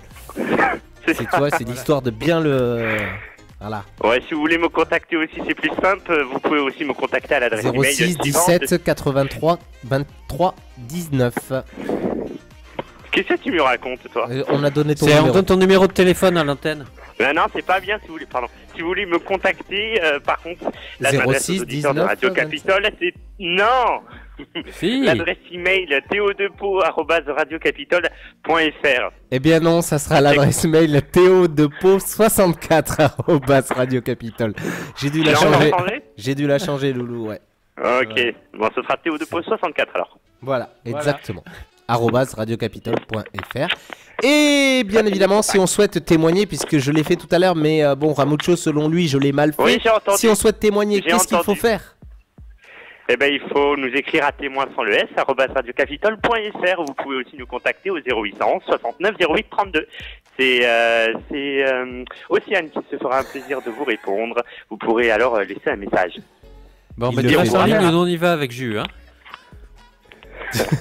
Pourquoi vous y allez nous on y On te laisse, on te laisse finir. avec moi, l'émission n'est pas encore terminée. Bien, tu as pas découvert de faits insolites cette semaine? Alors écoute, euh, j'ai pas découvert grand chose. J'étais surtout penché sur le, sur le cas des gilets jaunes et des manifs euh, sur le lycée. Ouais, Donc, du coup, je me suis pas penché sur les insolites. ouais, Bon, il n'a pas Ouais, fait son vois. travail intégralement. hein. ouais, je vois. Hein, il je peut vois pas ça. faire 10 000 choses à la fois, lui. hein. Ouais, ouais, non, non. lui, on va le next direct. Bam. Ouais, je pense que là, euh, la semaine prochaine, de toute façon. C'est une faute euh, professionnelle, hein, l'incompétence. hein. Ouais. Là, là t'es Bah, tu, tu, Là, non, non. tu m'en parleras lors de mon entretien. Exactement. Ouais, lors de ton J'amènerai le entretien, représentant euh, de mon syndicat. En tout cas, Ouais. euh, officiellement, quand même, euh, mine de rien, euh, je voulais le dire avec Ramucho, on t'offre euh, un joli cadeau qui est le double des clés des stu- du studio. Qu'est-ce que tu en penses? C'est un joli cadeau? Mais Tu es content? je trouve que ah, euh, je suis très content. Voilà. Voilà. C'est c'est- c'est juste en fait l'histoire de te dire que tu vas faire tes prochains samedis tout seul. Non, non, mais. Non, mais non, ça me plaît, je suis sérieusement, content, sérieusement, c'est. euh, C'est avec grand voilà, plaisir. Tu as, euh, Ouais. tu as réussi à préparer une météo en 3 minutes. Donc tu as, tu as passé ton test de... Voilà. Et, euh, C'est bon, ma période d'essai est non, terminée. franchement, franchement, Théo, t'es très professionnel et euh, On voulait te le dire. on voulait te Cool. annoncer cette nouvelle-là et on voulait l'annoncer à l'antenne. Donc, euh, donc voilà. Et, super. Ça te fasse plaisir. et on préfère le faire avant le 1er janvier que l'on change de résolution. Voilà. Oui. D'accord. Heureusement alors que ça tombe maintenant. Eh oui. Merci en tout cas Théo d'avoir été avec nous. Euh, désolé de t'avoir fait perdre un petit peu de temps, hein Hein Pendant non, que tu vas qu'à tes Quelquefois occupations. que tu as autre chose à faire. Ah, pas de soucis, bah, je peux rester avec vous jusqu'à 17h si vous voulez. hein. Euh, alors la seule difficulté qu'il va y avoir en fait, si C'est que qu'on a mis y en le... a qui payent le forfait. Bah déjà, et puis et puis c'est pas ça, c'est qu'en plus euh, tu es en haut-parleur et qu'on est quand même dans un immeuble et que ça va être très difficile euh, pour euh, les voisins d'accepter euh, les baffes avec euh, Théo qui parle à fond. Ouais. Voilà. Non, mais, Mais on te non, retrouve- Je parle pas. Mais on te retrouve samedi prochain de toute façon. Eh oui, bien sûr, vous me retrouvez samedi dans les, euh, dans les studios. D'ailleurs, si vous voulez euh, venir nous rejoindre, eh ben, pas de souci, il faut contacter euh, Julien et vous serez aussi le bienvenu dans nos studios. Est-ce que tu sais qu'on a rencontré euh, justement dans les studios les gilets jaunes euh, cette semaine? Oui, oui, je le sais, je suis au courant, j'ai suivi l'actu, t'inquiète. Oui. Je suis aussi l'actu de Radio Capitole. Et on a eu On a. On eu l'honneur, sans faire de publicité, on a eu l'honneur quand même d'accueillir nos confrères de BFM et de France Bleu et de France 3 dans les studios de Radio Capitole. Eh oui. Merci je- à eux d'être venus. aussi. Oui, Voilà. merci. Et est-ce que tu es au courant Et big up, que... big up à nos collègues aussi. Et, et est-ce que tu es au courant que Ryan, 8 ans, a gagné 22 millions de dollars en 2018 avec ses vidéos YouTube? Comment? Est-ce que tu es au courant que Ryan, âgé de 8 ans, a gagné 22 millions de dollars en 2018 avec ses vidéos sur YouTube? Oui, oui, je suis au courant, oui. J'en ai entendu À parler. 8 de cette ans histoire, oui. À 8 ans, 17 millions d'abonnés. C'est ça.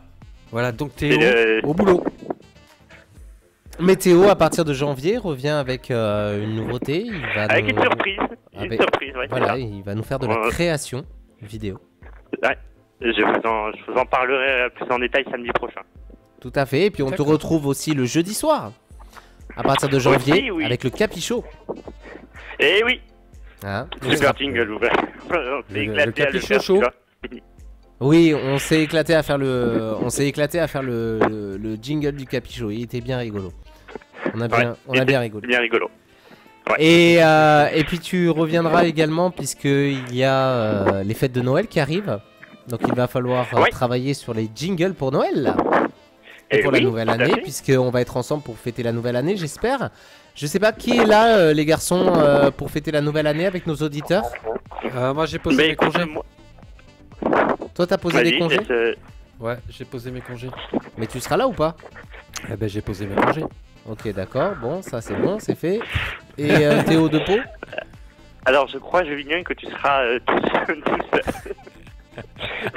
Il m'a demandé, je lui ai que, signé euh, ses congés. Au 1er janvier, en tout cas cette année, je ne suis pas là non plus, mais par contre, je pourrais euh, passer un petit, un petit moment avec vous euh, par téléphone si vous le souhaitez. Non, mais c'est bon, ça sert à rien, les gars. C'est bon, je vais me descendre la bouteille de champagne tout seul. C'est bon. Mais euh, non, mais euh, faut pas prendre les choses comme ça. C'est euh, voilà, c'est les- pour la nouvelle année. on est Non, mais l'an dernier j'ai fait Noël, cette année j'ai fait. et non, l'an dernier j'ai fait Noël et la nouvelle année tout seul. Oh, en ligne. Calimero. Avec la rediffusion euh, instantanée du feu d'artifice. euh, euh, D'ailleurs, que Radio Capitole suivra aussi, c'est la, la diffusion du feu d'artifice à la Tour Eiffel. Un beau moment magique Ouais. hein, que J'ai vu, ouais. Que l'on diffusera euh, bien évidemment cette année. Et puis euh, on essayera aussi de, de, de, de s'équiper euh, de matériel pour, pour, pour vous présenter les, les, les différents, les différentes plus grosses villes de France fêtant la nouvelle année. Donc on Ouais. essaiera de se mettre en lien avec Marseille, Toulouse, euh, Pau aussi, et euh, Paris et euh, d'autres villes. Ouais, ça c'est pour l'étranger, ça. Tu parler pour. euh, Voilà, non, on de toute façon, toi, tout ce qui sort pas du Pays Basque, de toute façon, c'est c'est l'étranger. Mais il y a un beau Ouais, ça feu d'artifice à, à Biarritz, hein, il me semble. Mais il y a un magnifique feu d'artifice à Biarritz. Tu essayeras de nous le retransmettre. Euh, je- Non, je suis en congé. Ouais, ok, bon, allez. Merci en tout cas, Théo. Eh ben, merci Je à te vous. dis à on samedi- se revoit donc À samedi samedi. prochain. Ouais. Ouais. Allez, Allez, ciao. ciao, ciao, bye bye. Ouais. Ciao, ciao. Ciao. Ah là là là là, il nous a fait une météo en 3 minutes. Et franchement, Alors là, il m'a là, il m'a ouais, scotché. t'étais médisant hein, sur, ce, sur le coup. Alors hein, là, c'est- il m'a scotché. Le gars, il Voilà. m'a scotché. C'est dommage Là- qu'il parte.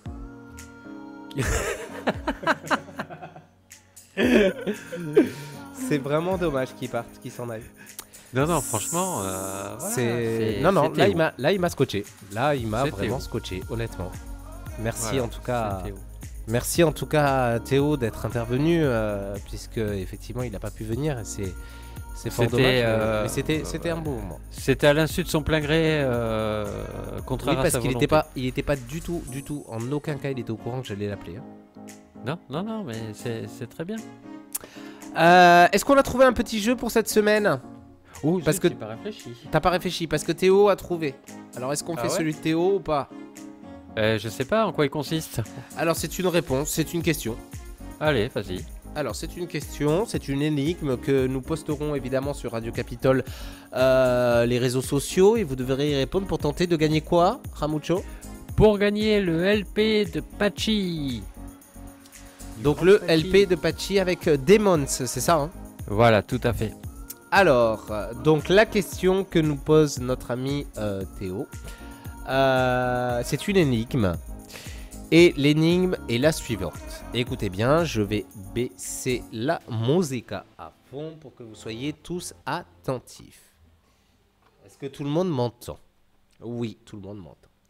Alors, je commence la nuit et finis le matin. Je suis dans les temps et au fond du jardin. Je suis dedans, mais pas dehors. Qui suis-je? Hein Je recommence. Je commence la nuit et finis le matin. Je suis dans les temps et au fond du jardin. Je suis dedans, mais pas dehors. Qui suis-je? Cette question, les amis, vous sera euh, proposée donc dès euh, la fin de notre direct, donc c'est-à-dire d'ici 3 à 4 minutes, et vous pouvez y répondre euh, simplement en nous contactant au 0811 69 08 32 0811 69 08 32 vous appuyez sur la touche 6 puis sur la touche 9 de votre du répondeur pour nous laisser la réponse la touche 6 pour déclencher euh, le répondeur consistant à jouer et à participer pour tenter de gagner donc le euh, CD de Pachi Euh, et puis moi personnellement vu que c'est Noël et vu qu'on va le mettre, euh, on, va, on le laisse sur deux semaines, sur une semaine Pour faire le... Euh, le, le, Jusqu'à la- la Noël même question? La question, oui. Oh, on le laisse sur euh, une semaine. Allez, on le laisse sur une semaine. Et en plus, moi, je vous rajoute une petite boîte personnelle de petits gâteaux avec la boîte effet euh, de Noël euh, signée, effectivement, de euh, la, belle main de Théo de. Voilà. Ça sera le cadeau euh, en plus. Vous y trouverez un petit contenu de petits euh, gâteaux, euh, petits euh, ensemble de gâteaux à offrir pour Noël avec une belle boîte avec des jolis petits lutins malins. Si Théo les a pas mangés avant. Si Théo les a pas mangés avant. Ramucho, il est 17h. Eh oui, il va falloir qu'on se laisse. Il va falloir qu'on se lasse. Qu'on se lasse, qu'on se laisse. Bon, on va arrêter là parce que.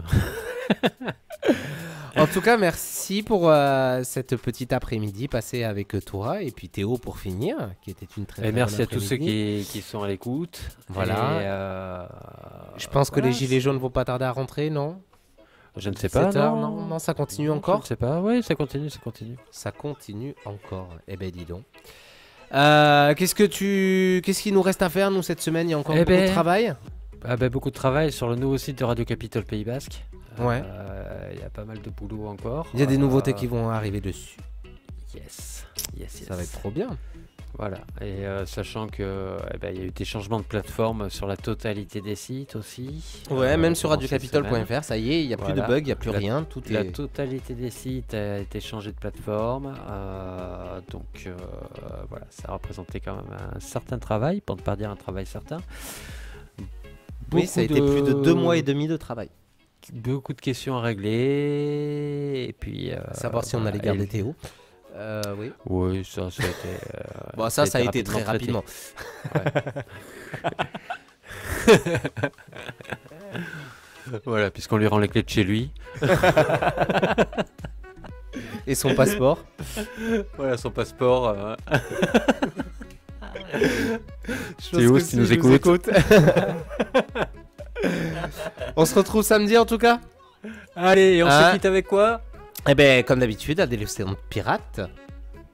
Allez, et bien sur ce, bonne fin de week-end à tous et à toutes. Et puis on vous dit à très très bientôt. Et puis on reste connecté, restez connectés sur les réseaux sociaux radiocapitole.fr, radiocapitolepaybasse.com, Radio Béarn, Facebook, Twitter, euh, etc. etc. même Snapchat. On est toujours là.